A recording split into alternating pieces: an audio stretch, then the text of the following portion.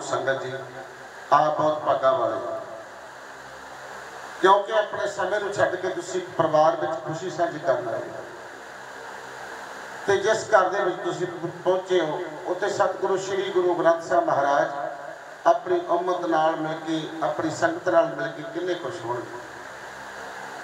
ਇਹ ਖੁਸ਼ੀਆਂ ਜਦੋਂ ਅਸੀਂ ਕਿਸੇ ਦੇ ਨਾਲ ਬਣਾਉਂਦੇ ਹਾਂ, ਤੇ ਸਾਡੇ ਘਰ ਵਿੱਚ ਵੀ ਜਾਂਦੀਆਂ ਹਰ ਮਨੁੱਖ ਦੇ ਮਨ ਵਿੱਚ ਚਾਹ ਹੁੰਦਾ ਕਿ ਸਾਡੇ ਘਰ ਵਿੱਚ ਖੁਸ਼ੀਆਂ ਹੋਣ ਲੇਕਿਨ ਜਦੋਂ ਕਿਸੇ ਦੀ ਖੁਸ਼ੀ ਮਨਾਵਾਂਗੇ ਤੇ ਉਦੋਂ ਖੁਸ਼ੀ ਸਾਡੇ ਘਰ ਵਿੱਚ ਆਪਣੇ ਆਪ ਆ ਜਾਂਦੀ ਹੈ।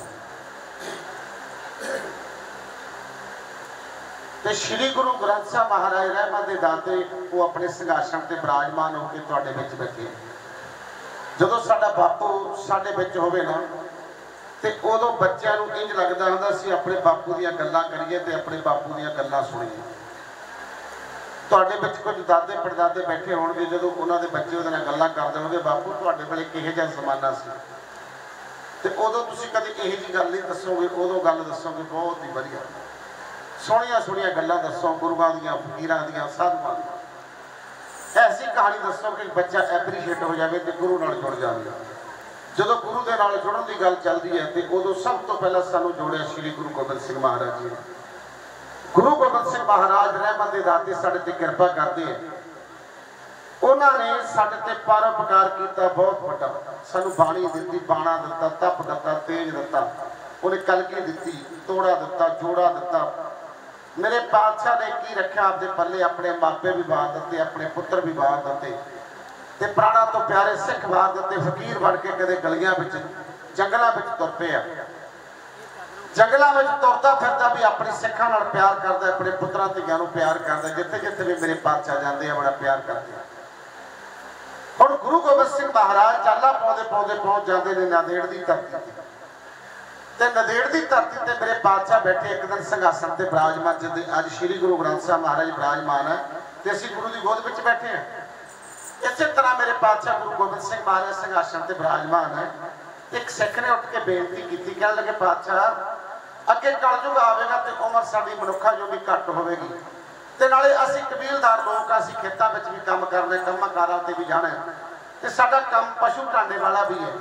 ਤੇ ਸਾਥੋਂ ਇਹਨਾਂ ਨਾਮ ਨਹੀਂ ਜਪਿਆ ਜਾਣਾ, ਆਪ ਕਿਰਪਾ ਕਰੋ। ਸਾਨੂੰ ਨਾਮ ਦੀ ਵਿਧੀ ਦੱਸੋ ਤੇ ਵਿਧੀ ਇਹ ਦੱਸੋ ਜਿਹਦੇ ਵਿੱਚ ਤੁਹਾਡੇ ਦੀਦਾਰ ਹੋ ਜਾਣ। ਹੁਣ ਜਿਨ੍ਹਾਂ ਨੇ 52 ਹੁਕਮਨਾਮੇ ਪੜ੍ਹੇ ਆ ਨਾ, ਉਹ ਖੁਸ਼ ਹੋ ਜਾਣਗੇ ਇਸ ਗੱਲ ਨੂੰ ਸਮਝ ਕੇ। ਮੇਰੇ ਪਾਤਸ਼ਾਹ ਨੂੰ ਸਵਾਲ ਕਰਦਾ ਹੈ ਸਿੱਖ, ਤੁਹਾਡੇ ਵਰਗਾ ਸਿੱਖ ਉੱਠ ਕੇ। ਕਹਿਣ ਲੱਗੇ ਸ਼ਹਿਨशाह ਕਿਰਪਾ ਕਰੋ ਕੋਈ ਨਾਮ ਦੀ ਵਿਧੀ ਇਹ ਜੀ ਦੱਸੋ ਕਿ ਨਾਮ ਵੀ ਜਪਿਆ ਜਾਵੇ ਤੇ ਨਾਲ ਨਾਲ ਤੁਹਾਡੇ ਦੀਦਾਰ ਹੋ ਜਾਣ। ਹੁਣ ਗੁਰੂ ਗੋਬਿੰਦ ਸਿੰਘ ਮਹਾਰਾਜ ਨਦੇੜ ਦੀ ਧਰਤੀ ਤੇ ਆਪਣੇ ਸਿੱਖਾਂ ਨੂੰ ਕਹਿਣ ਲੱਗੇ, ਸਿੱਖੋ, ਐ ਮੇਰੇ ਪੁੱਤਰ ਧੀਓ ਇੱਕ ਸਿੱਖ ਨੇ ਬਚਨ ਕੀਤਾ ਕਿ ਸਾਨੂੰ ਇਹ ਜੀ ਵਿਧੀ ਨਾਮ ਦੀ ਦੱਸੋ ਤੇ ਜਿਹਦੇ ਵਿੱਚੋਂ ਤੁਹਾਡੇ ਦੀਦਾਰ ਵੀ ਹੋ ਜਾਣ। ਹੁਣ ਬਾਜਾ ਵਾਲਾ ਮਾਹੀ ਇੱਕ ਗੱਲ ਕਹਿਣ ਲੱਗਿਆ, ਉਹ ਕਹਿਣ ਲੱਗੋ ਸਿੱਖੋ, ਜਦੋਂ ਮੇਰਾ ਗੁਰਸਿੱਖ ਗੁਰਮਤ ਪਿਆਰਾ ਸੰਗਤੀ ਰੂਪ ਵਿੱਚ ਇਕੱਠਾ ਹੋਵੇਗਾ, ਜਦੋਂ ਖਾਲਸਾ ਪੰਥ ਬਣ ਕੇ ਇੱਕ ਰੁਕ ਜਾਵੇਗਾ, ਤੇ ਇੱਕ ਦੂਜੇ ਨੂੰ ਸਨਮੁਖ ਹੋ ਕੇ ਫਤਿਹ ਬੁਲਾਵੇਗਾ ਨਾ, ਵਾਹਿਗੁਰੂ ਦਾ ਸਿਮਰਨ ਕਰੇਗਾ, ਤੇ ਮੈਂ ਉਹਨਾਂ ਦੇ ਵਿੱਚ ਖੜਾ ਹੋਵਾਂ। ਹੁਣ ਜਿਨ੍ਹਾਂ ਨੂੰ ਯਕੀਨ ਹੈ ਵੀ ਗੁਰੂ ਗੋਬਿੰਦ ਸਿੰਘ ਮਹਾਰਾਜ ਕਹਿਣੀ ਤੇ ਕਰਨੀ ਦੇ ਪਰਪੱਕ ਹੈ, ਮੈਂ ਉਹਨਾਂ ਨੂੰ ਕਹਾਂਗਾ, ਅੱਗ ਨਾਲ ਫਤਿਹ ਬੁਲਾਓ। ਕਿਉਂਕਿ ਬਾਜਾ ਬੜਾ ਮਾਹੀ ਜੇ ਅਨੰਦਪੁਰ ਦੀ ਧਰਤੀ ਤੇ ਭਾਈ ਦਿਆ ਸਿੰਘ ਨੂੰ ਕਹਿਣ ਲੱਗਾ ਦਿਆ ਸਿੰਘਾ, ਮੈਨੂੰ ਇੱਕ ਵਾਰੀ ਕਿਰਪਾ ਕਰਕੇ ਦਿਆ, ਗੋਬਿੰਦ ਰਾਏ ਤੋਂ ਗੋਬਿੰਦ ਸਿੰਘ ਬਣਾ ਲਾ। ਕਿਰਪਾ ਕਰ ਤਰਸ ਖਾ ਤੇ ਦਿਆ ਸਿੰਘ ਕਹਿਣ ਲੱਗਾ ਸ਼ਹਿਨशाह ਤੁਸੀਂ ਤਾਂ ਸਾਡੇ ਗੁਰੂ ਹੋ, ਅਸੀਂ ਤਾਂ ਤੁਹਾਨੂੰ ਸੀਸ ਦਿੱਤੇ ਹੈ ਤੇ ਤਾਂ ਸਿੰਘ ਸਜੇ ਹੈ ਆਪ ਕਿਰਪਾ ਕਰਕੇ ਦੱਸੋ ਸਾਡਾ ਗੁਰੂ ਸਾਨੂੰ ਕੀ ਦੇਵੇਗਾ? ਮੇਰੇ ਪਾਤਸ਼ਾਹ ਦੀ ਗੋਡਣੀ ਲੱਗੀ। ਗਲ ਵਿੱਚ ਪੱਲਾ ਪਿਆ ਸੀ, ਹੱਥ ਜੋੜ ਕੇ ਅੱਖਾਂ ਨਾ ਮੋੜਨਾ।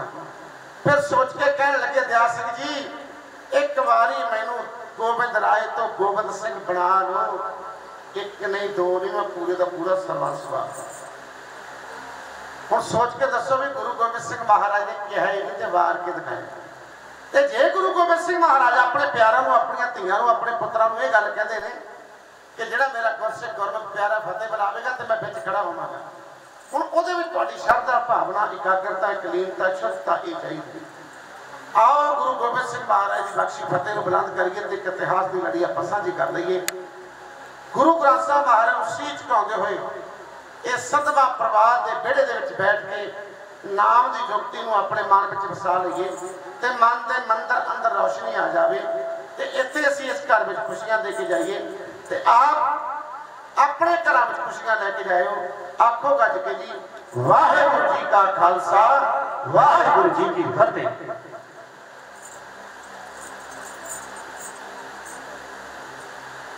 ਅੱਜ ਜਦੋਂ ਮੈਂ ਇਸ ਪਰਿਵਾਰ ਵਿੱਚ ਆਇਆ ਤੇ ਮੈਨੂੰ ਖੁਸ਼ੀ ਹੋਈ ਵੀ ਸਭ ਤੋਂ ਪਹਿਲਾਂ ਇਸ ਪਿੰਡ ਵਿੱਚ ਮੈਂ ਦੋ ਤਿੰਨ ਵਾਰੀ ਆ ਕੇ ਪੁਰਾਣੇ ਸੱਜਣ ਮੈਨੂੰ ਪਿਆਰੇ ਵੀਰ ਹੋਣੀ, ਸਰ ਗੁਰਵਿੰਦਰ ਸਿੰਘ ਜੀ ਹੋਣੇ ਮਿਲੇ। ਉਹਨਾਂ ਨੇ ਯਾਦਾਂ ਦਵਾਈਆਂ ਵੀ ਜਦੋਂ ਗਿਆਨੀ ਗੁਰਬਖਸ਼ ਸਿੰਘ ਜੀ ਅਲਵੇਲਾ ਜੀ ਦੇ ਨਾਲ ਆਏ। ਇਸ ਪਿੰਡ ਵਿੱਚ ਆ ਕੇ ਅਸੀਂ ਹਾਜ਼ਰੀ ਭਰੀ। ਉਦੋਂ ਮੈਂ ਢੱਡ ਤੇ ਗਾਉਣ ਆਇਆ। ਉਦੋਂ ਸਾਡੇ ਜੱਥੇ ਦੇ ਵਿੱਚ ਗਿਆਨੀ ਬਲਦੇਵ ਸਿੰਘ ਜੀ ਬਿੱਲੂ, ਗੁਰਬਖਸ਼ ਸਿੰਘ ਜੀ ਅਲਵੇਲਾ ਦੇ ਦਾਸ। ਅੱਜ ਉਹ ਅਲਬੇਲਾ ਜੀ ਦੇ ਜਾਣ ਤੋਂ ਬਾਅਦ ਮੈਨੂੰ ਜਥਾ ਬਣਾਉਣਾ ਪਿਆ ਤੇ ਅਲਬੇਲਾ ਜੀ ਦਾ ਨਾਮ ਜਿਉਂਦਾ ਰੱਖਣ ਲਈ। ਵੈਸੇ ਤਾਂ ਉਹ ਅਮਰ ਨੇ ਕੈਸਟਾ ਕਰਕੇ, ਇਤਿਹਾਸ ਕਰਕੇ ਦੁਨੀਆ ਤੇ ਅਮਰ ਰਹਿਣ ਪਰ ਫਿਰ ਵੀ ਮੈਂ ਜੱਥਾ ਚਲਾਉਣ ਦੀ ਖਾਤਰ ਨਾਲ ਆਪਣਾ ਆਪਣਾ ਜੱਥੇ ਨਾਲ ਲੈ ਕੇ ਥਾਂ ਥਾਂ ਤੇ ਪ੍ਰਚਾਰ ਕਰ ਹਾਂ। ਤੇ ਮੇਰੀ ਗੱਲ ਮੇਰੇ ਵੀਰ, ਛੋਟੇ ਵੀਰ ਜਸਪਾਲ ਸਿੰਘ ਜੀ ਦੇ ਨਾਲ ਇਟਲੀ ਤੋਂ ਜਦੋਂ ਹੋਈ, ਉਹਨਾਂ ਨੇ ਯਾਦ ਕੀਤਾ ਤੇ ਉਹਨਾਂ ਦੇ ਸਤਿਕਾਰਯੋਗ ਪਿਤਾ ਜੀ ਸਰਦਾਰ ਸੱਜਣ ਸਿੰਘ ਜੀ ਸਿੱਧਰ ਸਾਹਿਬ, ਨੰਬਰਦਾਰ ਸਾਹਿਬ, ਇਹਨਾਂ ਨਾਲ ਮੇਰਾ ਰਾਬਤਾ ਸਾਂਝਾ ਬਣਿਆ ਤੇ ਅਸੀਂ ਬੜੇ ਪਿਆਰ ਨਾਲ ਗੱਲਾਂ ਕਰੀਆਂ। ਬਹੁਤ ਖੁਸ਼ੀ ਮਹਿਸੂਸ ਹੋਈ ਵੀ ਮੈਂ ਬੜੇ ਲੰਬੇ ਚਿਰ ਬਾਅਦ ਇਸ ਪਿੰਡ ਵਿੱਚ ਹਾਜ਼ਰੀ ਭਰ ਜਦੋਂ ਸਾਡੇ ਪਰਿਵਾਰ ਵਿੱਚ ਖੁਸ਼ੀ ਆਉਂਦੀ ਹੈ, ਉਦੋਂ ਅਸੀਂ ਆਪਣੇ ਬਜ਼ੁਰਗਾਂ ਨੂੰ ਜ਼ਰੂਰ ਚੇਤੇ ਕਰਦੇ ਹਾਂ। ਜਦੋਂ ਅਸੀਂ ਆਪਣੇ ਵੱਡਿਆਂ ਨੂੰ ਚੇਤੇ ਕਰਾਂਗੇ ਤੇ ਤੁਸੀਂ ਜਿੰਨੇ ਵੱਡੇ ਬੈਠੇ ਹੋ, ਤੁਹਾਡੇ ਪੁੱਤ ਪੋਤਰੇ ਤੁਹਾਨੂੰ ਵੀ ਯਾਦ ਕਰਿਆ ਕਰਨਗੇ। ਕਿਉਂਕਿ ਜੇ ਅਸੀਂ ਆਪਣੇ ਪੁਰਖਿਆਂ ਨੂੰ ਭੁੱਲ ਗਏ ਤੇ ਸਾਡੇ ਪਿੱਛੇ ਕੀ ਰਹਿ ਜਾਂਦਾ?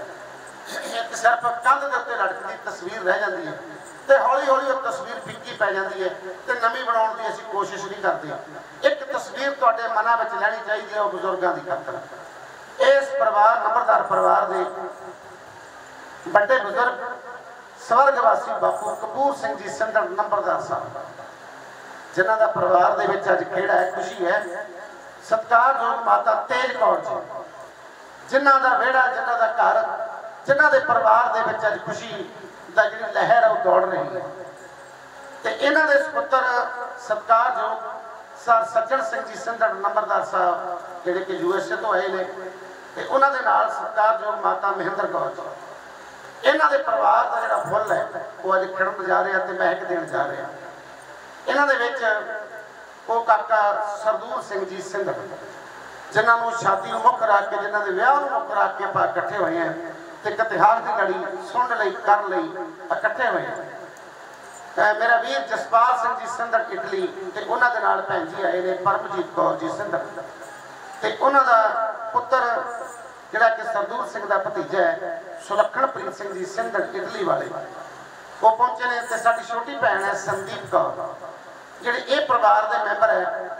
ਮੈਂ ਬੜਾ ਮਾਣ ਮਹਿਸੂਸ ਕਰਦਾ ਹਾਂ ਕਿ ਪਰਿਵਾਰ ਦੇ ਨਾਂ ਨਾਲ, ਲੈਣ ਨਾਲ ਨਾਲ ਤਾਂ ਵੀਡੀਓ ਬਣ ਜਾਵੇਗੀ ਤੇ ਨਾਲ ਨਾਲ ਪਰਿਵਾਰ ਵਿੱਚ ਨਾਂ ਰਹਿ ਜਾਂਦਾ, ਰਹਿੰਦੀ ਦੁਨੀਆ ਤੱਕ ਫਿਰ ਨਾਲ ਨਾਲ ਸਾਡਾ ਨਾਨਕੇ ਪਰਿਵਾਰ ਦੀ ਗੱਲ ਜ਼ਰੂਰ ਚੱਲੇਗੀ ਕਿ ਸਰਦੂਲ ਸਿੰਘ, ਜਿਨ੍ਹਾਂ ਦੇ ਨਾਨਕਾ ਪਰਿਵਾਰ ਹੈ ਸਵਰਗਵਾਸੀ ਬਾਪੂ ਪ੍ਰੀਤਮ ਸਿੰਘ ਜੀ, ਜਿਹੜੇ ਨਾਨਾ ਜੀ ਹਨ, ਤੇ ਨਾਨੀ ਬੀਬੀ ਪ੍ਰੀਤਮ ਕੌਰ ਜੀ, ਜਿਹੜੇ ਚੱਠੇ ਪਿੰਡ ਵਾਲੇ ਨੇ। ਇਸ ਪਰਿਵਾਰ ਦੇ ਵਿੱਚ ਖੁਸ਼ੀ ਹੈ ਤੇ ਇਸ ਦਾ ਮਾਮਾ ਜਿਹੜਾ ਸਾਹਿਬ ਜਸਵੰਤ ਸਿੰਘ ਜੀ ਤੇ ਬੀਬੀ ਪਰਮਜੀਤ ਕੌਰ ਜੀ। ਇਸ ਪਰਿਵਾਰ ਦੇ ਵਿੱਚ ਇਸ ਕਰਦੇ ਰੌਣਕਾਂ ਤੇ ਜਿਹੜੀ ਬੇਟੀ ਦਾ ਅੱਜ ਸ਼ਗਨ ਦੀ ਖਾਤਰ ਅਸੀਂ ਇਕੱਠੇ ਹੋਏ ਹਾਂ, ਬੇਟੀ ਜਗਦੀਪ ਕੌਰ। ਉਹ ਸਾਡੇ ਜੱਗ ਦਾ ਦੀਪ ਹੈ, ਸਾਡੇ ਘਰ ਦਾ ਚਿਰਾਗ ਹੈ। ਸਾਡੇ ਘਰ ਨੂੰ ਰੋਸ਼ਨੀ ਦੇਣ ਲਈ ਉਹ ਸਾਡੇ ਘਰ ਨੂੰ ਚਾਰ ਚੰਨ ਲਾਉਣ ਲਈ ਜਿਹਨੇ ਸਾਡੇ ਘਰ ਵਿੱਚ ਆਉਣਾ ਹੈ। ਪਿੰਡ ਸਾਰਗਵਾਲ ਤੋਂ ਉਹਨਾਂ ਦੇ ਸਤਿਕਾਰਯੋਗ ਪਿਤਾ ਮੇਜਰ ਸਿੰਘ ਜੀ, ਜਿਹੜੀ ਆਪਣੇ ਪਰਿਵਾਰ ਦੀ ਰੌਣਕ ਨੂੰ ਨਾਲ ਲੈ ਕੇ ਸਾਡੇ ਖੇੜੇ ਵਿੱਚ, ਸਾਡੇ ਵਿਹੜੇ ਵਿੱਚ, ਸਾਡੇ ਘਰ ਵਿੱਚ ਆਉਣਗੇ। ਤੇ ਮੈਂ ਸਾਰੇ ਪੂਰੇ ਪਰਿਵਾਰ ਨੂੰ ਵਧਾਈ ਦਿੰਦਾ ਮਾਣ ਮਹਿਸੂਸ ਕਰਦਾ ਹੈ ਕਿ ਸਰ ਸੱਜਣ ਸੰਗੀ ਨੰਬਰਦਾਰ ਸਾਹਿਬ, ਉਹਨਾਂ ਨੇ ਬਹੁਤ ਵੱਡੀ ਗੱਲ ਆ ਕੇ ਮੈਨੂੰ ਕਹੀ।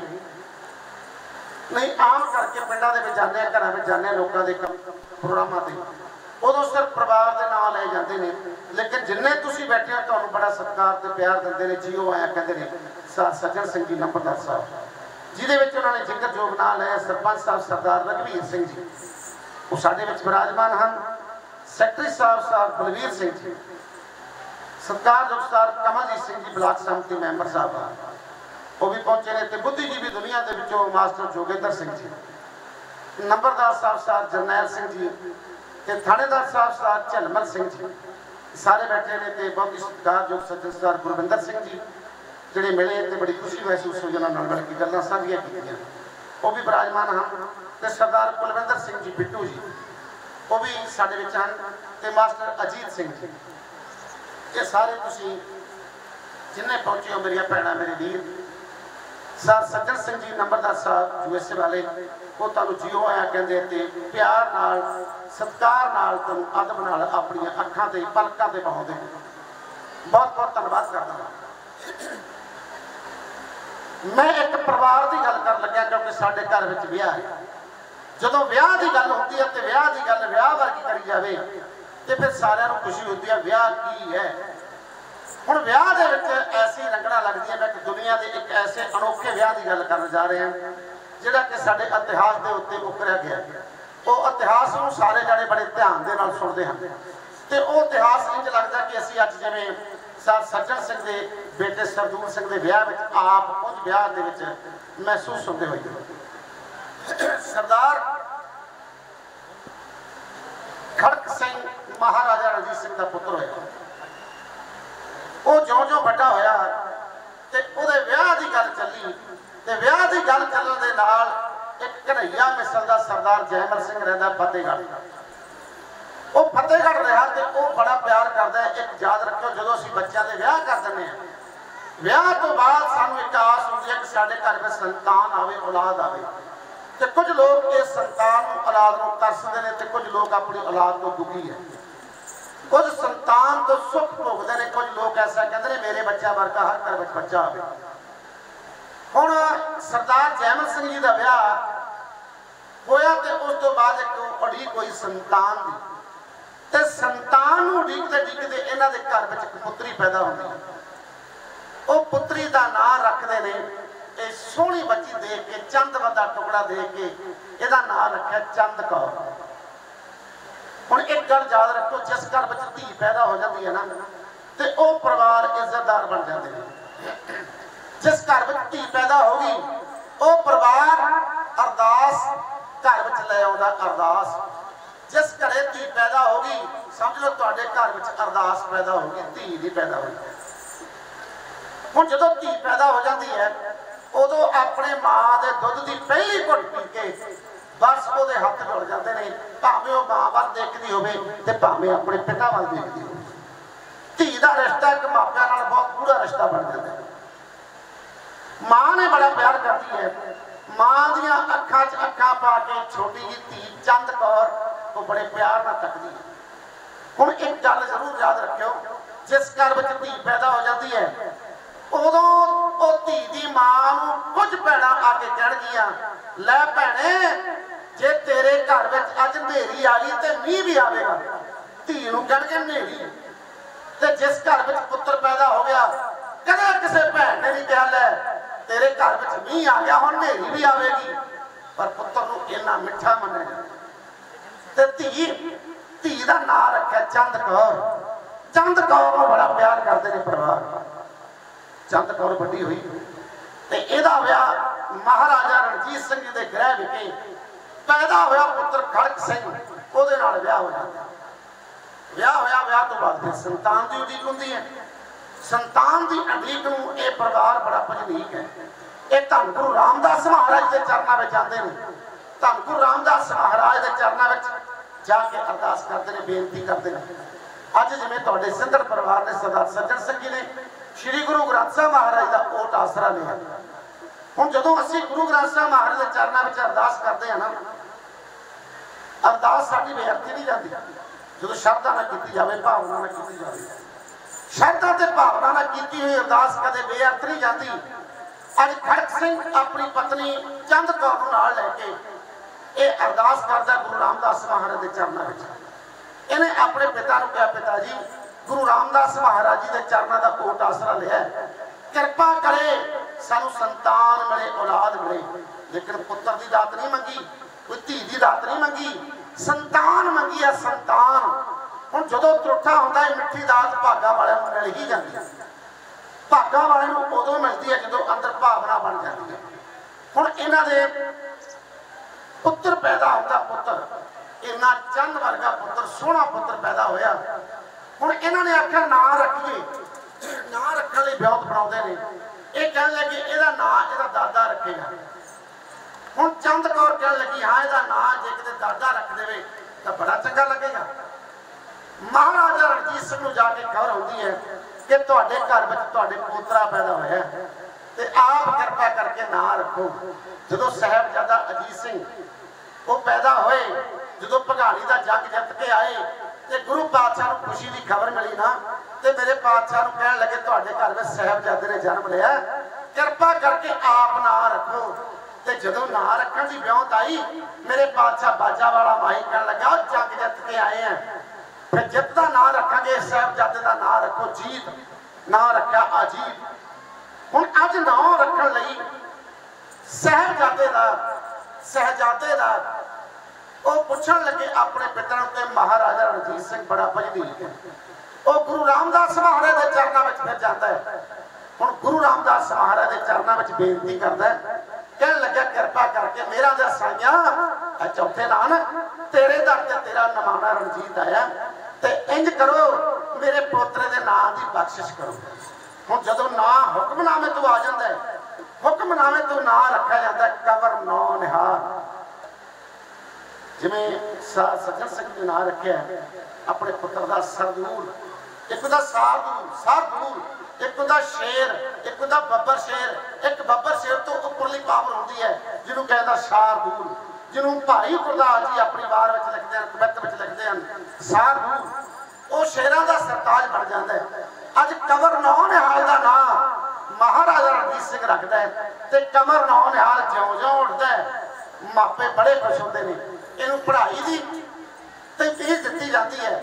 ਇਹਨੂੰ ਨਾਲ ਗੱਤਕਾ ਭਲੱਥਾ ਤੇ ਨਾਲ ਖੇਡਾਂ ਦੇ ਜੌਹਰ ਘੋੜ ਸਵਾਰੀ, ਜਿਉਂ-ਜਿਉਂ ਬੱਚਾ ਵੱਡਾ ਹੁੰਦਾ ਜਾਂਦਾ ਹੈ, ਮਾਪਿਆਂ ਨੂੰ ਚਾਹ ਹੁੰਦਾ ਹੈ। ਮਾਂ ਆਪਣੇ ਬੱਚੇ ਨੂੰ ਤਿਆਰ ਕਰਕੇ ਸਕੂਲ ਨੂੰ ਤੋਰਦੀ ਹੈ, ਅੱਜ ਵੀ ਤੋਰਦੀ ਹੈ। ਤੇ ਮਾਂ ਨੇ ਕਦੇ ਐਂਟੀ ਟੇਪ ਲੈ ਕੇ ਆਪਣੇ ਬੱਚੇ ਨੂੰ ਮਿਲਿਆ ਨਹੀਂ ਵੀ ਕਿੱਡਾ ਹੋ ਗਿਆ। ਤੇ ਨਾ ਕਦੇ ਪਿਤਾ, ਉਹ ਆਪਣੇ ਪੁੱਤਰ ਨੂੰ ਮਿਲਦਾ ਗਿੱਠਾਂ ਦੇ ਨਾਲ ਵੀ ਕਿੱਡਾ ਹੋ ਗਿਆ। ਪਰ ਇੱਕ ਬਾਪੂ ਨੇ ਆਪਣੇ ਪੁੱਤਰ ਨੂੰ ਮਿਲਿਆ ਸੀ, ਉਹ ਸੀ ਗੁਰੂ ਗੋਬਿੰਦ ਸਿੰਘ ਮਹਾਰਾਜ। ਉਹਨੇ ਆਪਣੇ ਪੁੱਤਰ ਦੀ ਛਾਤੀ ਮਿਲੀ, ਛਾਤੀ ਗਿੱਠ ਦੇ ਨਾਲ। ਕਹਿਣ ਲੱਗਾ, ਦੇਖਦਾ ਮੇਰਾ ਪੁੱਤਰ ਕਿੰਨੇ ਤੀਰ ਝੱਲ ਸਕਦਾ ਹੈ? ਦੁਸ਼ਮਣ ਦੇ ਆਏ ਤੀਰ ਦੀ ਬਾਲੀ ਛਾਤੀ ਵਿੱਚ ਕਿੰਨੀ ਝੱਲ ਲਵੇਗਾ? ਲੇਕਿਨ ਇੱਕ ਬਾਪੂ ਸੀ ਜਿਹੜਾ ਆਪਣੇ ਪੁੱਤਰ ਦੀ ਛਾਤੀ ਮਿਲਦਾ ਹੈ।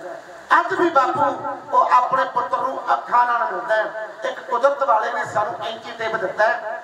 ਜਿਉਂ-ਜਿਉਂ ਬੱਚਾ ਪੜਦਾ ਹੈ ਤੇ ਉਹਦੀ ਉਮਰ ਨੂੰ ਤੁਸੀਂ ਬਾਅਦ ਚ ਜਾਂਦੇ ਹੋ। ਜਿਉਂ-ਜਿਉਂ ਬੱਚਾ ਪੜਦਾ ਹੈ, ਤੁਹਾਡੀਆਂ ਅੱਖਾਂ ਬੱਚੇ ਨੂੰ ਦੱਸਦੀਆਂ ਨੇ, ਬੱਚਾ ਕਿੱਡਾ ਹੋ ਗਿਆ। ਬੱਚਾ ਕਿੱਡਾ ਹੋ ਗਿਆ, ਬੱਚਾ ਜਿਉਂ-ਜਿਉਂ ਵੱਡਾ ਹੁੰਦਾ ਹੈ, ਮਾਪੇ ਆਪਣੇ ਅੱਖਾਂ ਦੇ ਐਂਟੀ ਟੇਪ ਨਾਲ ਮਿਲਦੇ ਆ। ਜਦੋਂ ਬੱਚਾ ਨੌਜਵਾਨ ਕਵਰ ਨੌ ਨਿਹਾਲ ਆਪਣੇ ਪਿਤਾ ਦੇ ਬਰਾਬਰ ਦਾ ਹੋ ਜਾਂਦਾ ਹੈ, ਤੇ ਇੱਕ ਦਿਨ ਚੰਦ ਕੌਰ ਬੈਠੀ ਇਹ ਸੋਚਣ ਲੱਗੀ, ਲੈ ਪੁੱਤਰ ਦੇ ਕਾਲਾ ਟਿੱਕਾ ਲਾ ਦਿਆਂ ਅੱਜ ਵੀ ਸੋਹਣਾ ਪੁੱਤਰ ਹੋਵੇ ਨਾ, ਤੇ ਮਾਂ ਕਾਲਾ ਟਿੱਕਾ ਲਾਉਂਦੀ ਉਹਦੇ ਪੈਰ ਤੇ। ਕਿਤੇ ਨਜ਼ਰ ਨਾ ਲੱਗ ਜਾਵੇ। ਨਜ਼ਰ ਤੋਂ ਡਰਦੇ ਆ ਮਾਪੇ। ਕਿਉਂਕਿ ਬੱਚਾ ਸੋਹਣਾ ਲੱਗਦਾ ਹੈ। ਇਹਨੇ ਜਦੋਂ ਟਿੱਕਾ ਲਾਇਆ, ਇਹ ਆਪਣੇ ਪਤੀ ਨੂੰ ਬੁਲਾਉਣ ਲੱਗੀ, ਐ ਮੇਰੇ ਸਵਾਮੀ ਪ੍ਰਧਾਨ ਜੀ, ਮੈਂ ਆਪ ਜੀ ਨਾਲ ਗੱਲ ਕਰਨੀ ਹੈ।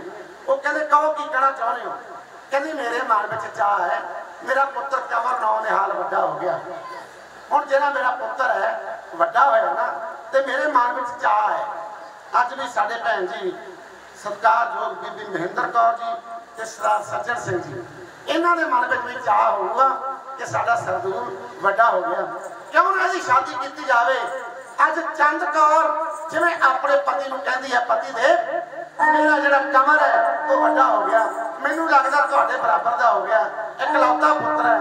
ਇਹਦੀ ਜਿਹੜੀ ਉਮਰ ਹੈ, ਉਹ ਮੈਂ 18ਵੇਂ ਸਾਲ ਦੀ ਸ਼ਾਨ ਬਣਦੀ ਜਾਂਦੀ ਹੈ। ਲੇਕਿਨ ਬੱਚਾ ਪਿਆਰਾ ਮੇਰਾ ਜੀ ਕਰਦਾ ਹੈ ਮੇਰਾ ਪੁੱਤਰ ਹੋ ਗਿਆ ਜਵਾਨ ਮੇਰਾ ਜੀ ਕਰਦਾ ਦਾ ਵਿਆਹ ਕਰ ਦਈਏ। ਜਿਵੇਂ ਚੰਦ ਕੌਰ ਆਪਣੇ ਮਨ ਦੇ ਖਿਆਲਾਂ ਨੂੰ ਅਪਣਦੀ ਹੈ, ਆਪਣੇ ਪਤੀ ਨਾਲ ਗੱਲ ਕਰਦੀ ਹੈ, ਉਹਨਾਂ ਲਾਈਨਾਂ ਦਾ ਵਰਣਨ ਗੁਰਬਖਸ਼ ਸਿੰਘ ਅਲਬੇਲੇ ਦਾ ਢਾਡੀ ਕਥਾ ਕਿਉਂ ਕਹਿ?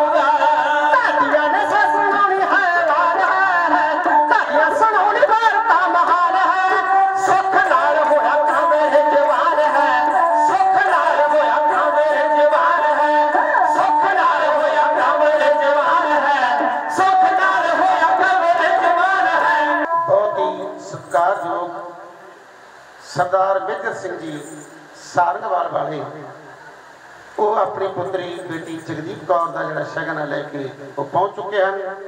ਉਹਨਾਂ ਨੂੰ ਜਿਉ ਆਇਆ ਕਹਿਣ ਲਈ ਬਹੁਤ ਸਾਰੇ ਸਾਡੇ ਸਤਿਕਾਰਯੋਗ ਸੱਜਣ ਉੱਠ ਕੇ ਗਏ। ਉਹਨਾਂ ਨੂੰ ਜਿਉ ਆਇਆ ਕਿਹਾ, ਬਹੁਤ ਬਹੁਤ ਧੰਨਵਾਦ ਕਰਦਾ ਹਾਂ ਜੀ। ਸਰ ਸੱਜਣ ਸਿੰਘ ਜੀ ਸਿੰਦਰ ਸਾਹਿਬ, ਨੰਬਰਦਾਰ ਸਾਹਿਬ, ਉਹ ਆਪਣੇ ਢਾਡੀ ਜਥੇ ਨੂੰ 500 ਰੁਪਏ ਭੇਜਦੇ ਨੇ ਧੰਨਵਾਦ ਕਰਦਾ ਹਾਂ। ਮੇਰਾ ਵੀਰ ਜਸਪਾਲ ਸਿੰਘ ਜੀ ਸਿੰਧੜ, ਇਟਲੀ ਵਾਲੇ, ਉਹਨਾਂ ਵੱਲੋਂ 500 ਰੁਪਏ ਤੇ ਇਸ ਘਰ ਦਾ ਜਿਹੜਾ ਬੱਚਾ ਹੈ ਸਰਦੂਰ ਸਿੰਘ ਦਾ ਭਤੀਜਾ ਅਤੇ ਜਸਪਾਲ ਸਿੰਘ ਦਾ ਪੁੱਤਰ, ਸ਼ਾਹ ਸੱਜਣ ਸਿੰਘ ਦਾ ਪੁੱਤਰਾ ਸੁਲੱਖਣਪ੍ਰੀਤ ਸਿੰਘ ਜੀ ਸਿੰਧੜ, ਇਟਲੀ ਵਾਲੇ। ਉਹਨਾਂ ਵੱਲੋਂ ਵੀ 500 ਰੁਪਏ ਢਾਡੀ ਨੂੰ ਮਾਣ ਭੇਜਿਆ ਤੇ ਤੁਸੀਂ ਸਾਰਿਆਂ ਨੇ ਬਹੁਤ ਸਾਰਾ ਮਾਣ ਭੇਜਿਆ ਤੇ ਸਰਕਾਰ ਜੋ ਸਰ ਮੇਜਰ ਸਿੰਘ ਜੀ ਸਿੰਧੜ ਮਿੱਤਰਾਂ ਦੀ ਦੁਨੀਆ ਦੇ ਵਿੱਚੋਂ, ਜਿਹੜੇ ਕਿ ਸਰਦੂਰ ਉਹਨਾਂ ਦੇ ਚਾਚਾ ਜੀ ਲੱਗਦੇ ਨੇ ਮੇਜਰ ਸਿੰਘ ਜੀ ਸਿੰਧੜ, ਉਹਨਾਂ ਵੱਲੋਂ ਬਹੁਤ ਸਾਰਾ ਮਾਣ ਆਇਆ ਸਰਕਾਰ ਜੋ ਭਾਈ ਭਾਈ ਗੁਰਵਿੰਦਰ ਸਿੰਘ ਜੀ ਜਦਾ ਸਾਹਿਬ, ਉਹਨਾਂ ਵੱਲੋਂ ਮਾਣ ਆਇਆ ਸਭ ਨੇ ਮਾਣ ਕੀਤਾ, ਤੁਹਾਡਾ ਬਹੁਤ ਬਹੁਤ ਧੰਨਵਾਦ। ਮੈਂ ਸੋਚਿਆ ਕਿਤੇ ਹੋਰ ਪਾਸੇ ਮਾਇਆ ਵਾਲੇ ਪਾਸੇ ਵਿਅਕਤੀ ਨਾ ਚਲੀ ਜਾਵੇ। ਤੇ ਕਿਤੇ ਦੀ ਗੱਲ ਕਹਿ ਦੇ ਹੁਣ ਕਬਰ ਨੌ ਨਿਹਾਲ ਦੇ ਵਿਆਹ ਦੀ ਗੱਲ ਹੈ ਜਿਹੜੀ। ਉਹ ਮਹਾਰਾਜਾ ਰਣਜੀਤ ਸਿੰਘ ਤੱਕ ਪਹੁੰਚਾਉਣ ਦੀ ਇੱਕ ਬਿਉਂਤ ਬਣਾਉਂਦੇ ਨੇ। ਕਬਰ ਨੌ ਨਿਹਾਲ ਦੇ ਵਿਆਹ ਦੀ। ਖੜਕ ਸਿੰਘ ਕਹਿਣ ਲੱਗਿਆ, ਮੈਂ ਗੱਲ ਕਰਾਂਗਾ ਪਿਤਾ ਜੀ ਦੇ ਨਾਲ। ਜਦੋਂ ਪਿਤਾ ਜੀ ਦੇ ਨਾਲ ਗੱਲ ਕਰਦੇ ਨੇ ਤੇ ਸਰਦਾਰ ਸ਼ਾਮ ਸਿੰਘ ਅਟਾਰੀ ਤੇ ਮਹਾਰਾਜਾ ਰਣਜੀਤ ਸਿੰਘ ਦੋਨੋਂ ਇਕੱਠੇ ਬੈਠੇ। ਇਕੱਠੇ ਬੈਠੇ ਦੇ ਉੱਤੋਂ ਇੰਨੇ ਨੂੰ ਜਦੋਂ ਖੜਕ ਸਿੰਘ ਗਿਆ ਤੇ ਮਹਾਰਾਜਾ ਰਣਜੀਤ ਸਿੰਘ ਨਾਲ ਮਿਲਣੀ ਕਰਕੇ ਜੇ ਤੁਰਨੀ ਲੱਗਿਆ, ਸ਼ਾਮ ਸਿੰਘ ਅਟਾਰੀ ਉੱਤੋਂ ਹੀ ਚੁੱਕਿਆ। ਉਹ ਹੌਲੀ ਹੌਲੀ ਚੱਲਦਾ ਚੱਲਦਾ ਲਾਹੌਰ ਤੋਂ ਉਹ ਆਪਣੀ ਅਟਾਰੀ ਵੱਲ ਨੂੰ ਚਲਾ ਜਾਂਦਾ।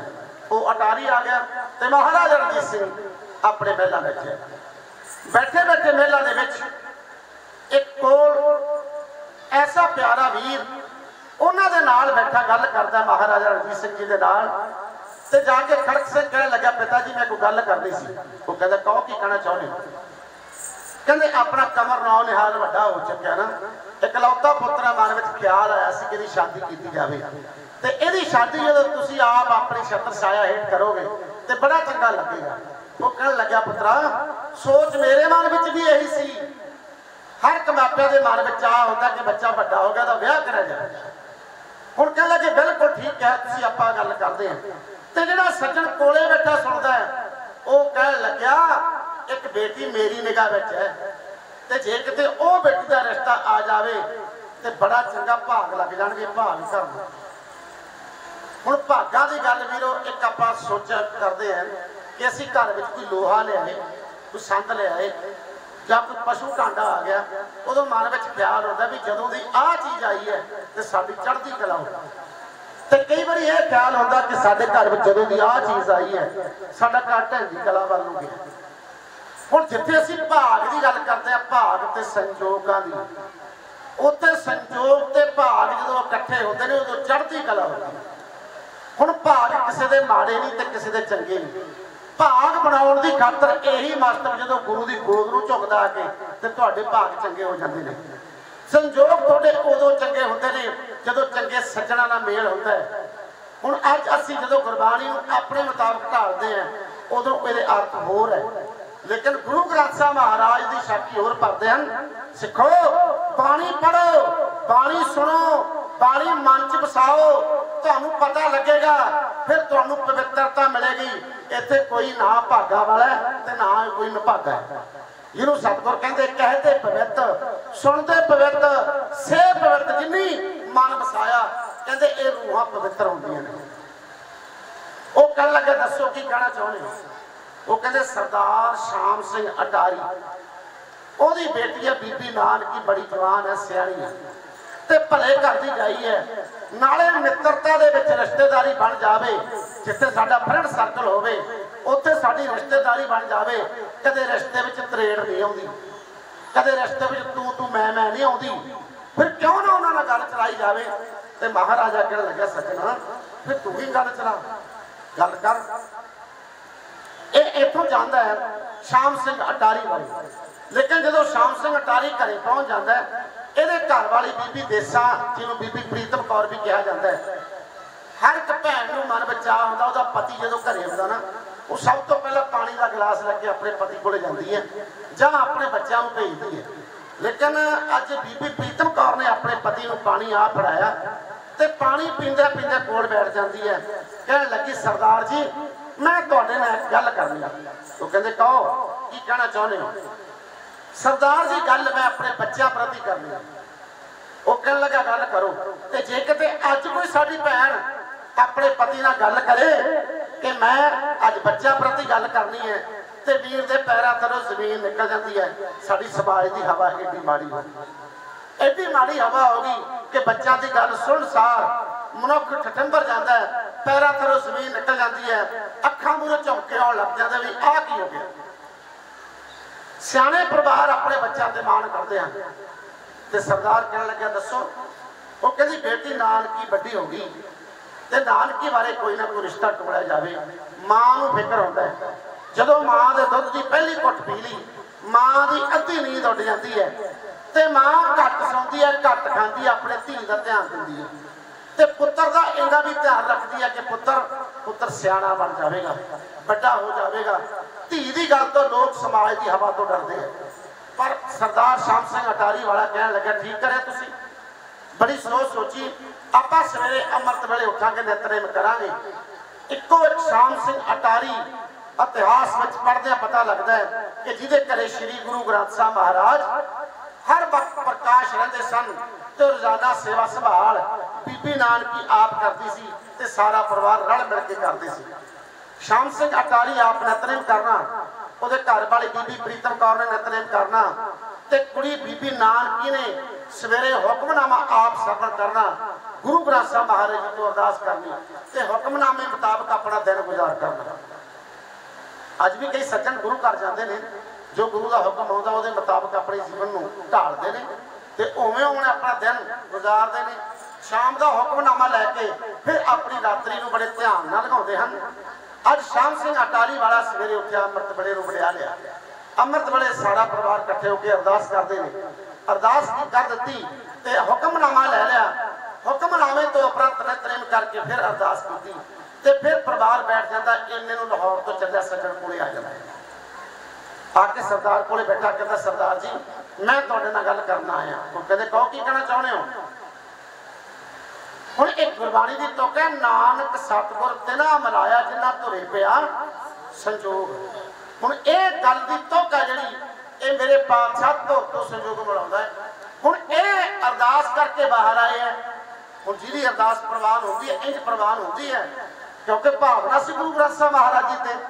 ਹੁਣ ਇਧਰੋਂ ਉਹ ਭਾਈ ਇਹਨਾਂ ਦੇ ਘਰ ਪਹੁੰਚ ਜਾਂਦਾ ਉਦੋਂ ਦੇ ਵਿਚਾਰ, ਅੱਜ ਦਾ ਵਿਚਾਰ ਹੈ ਵਿਚੋਲਾ।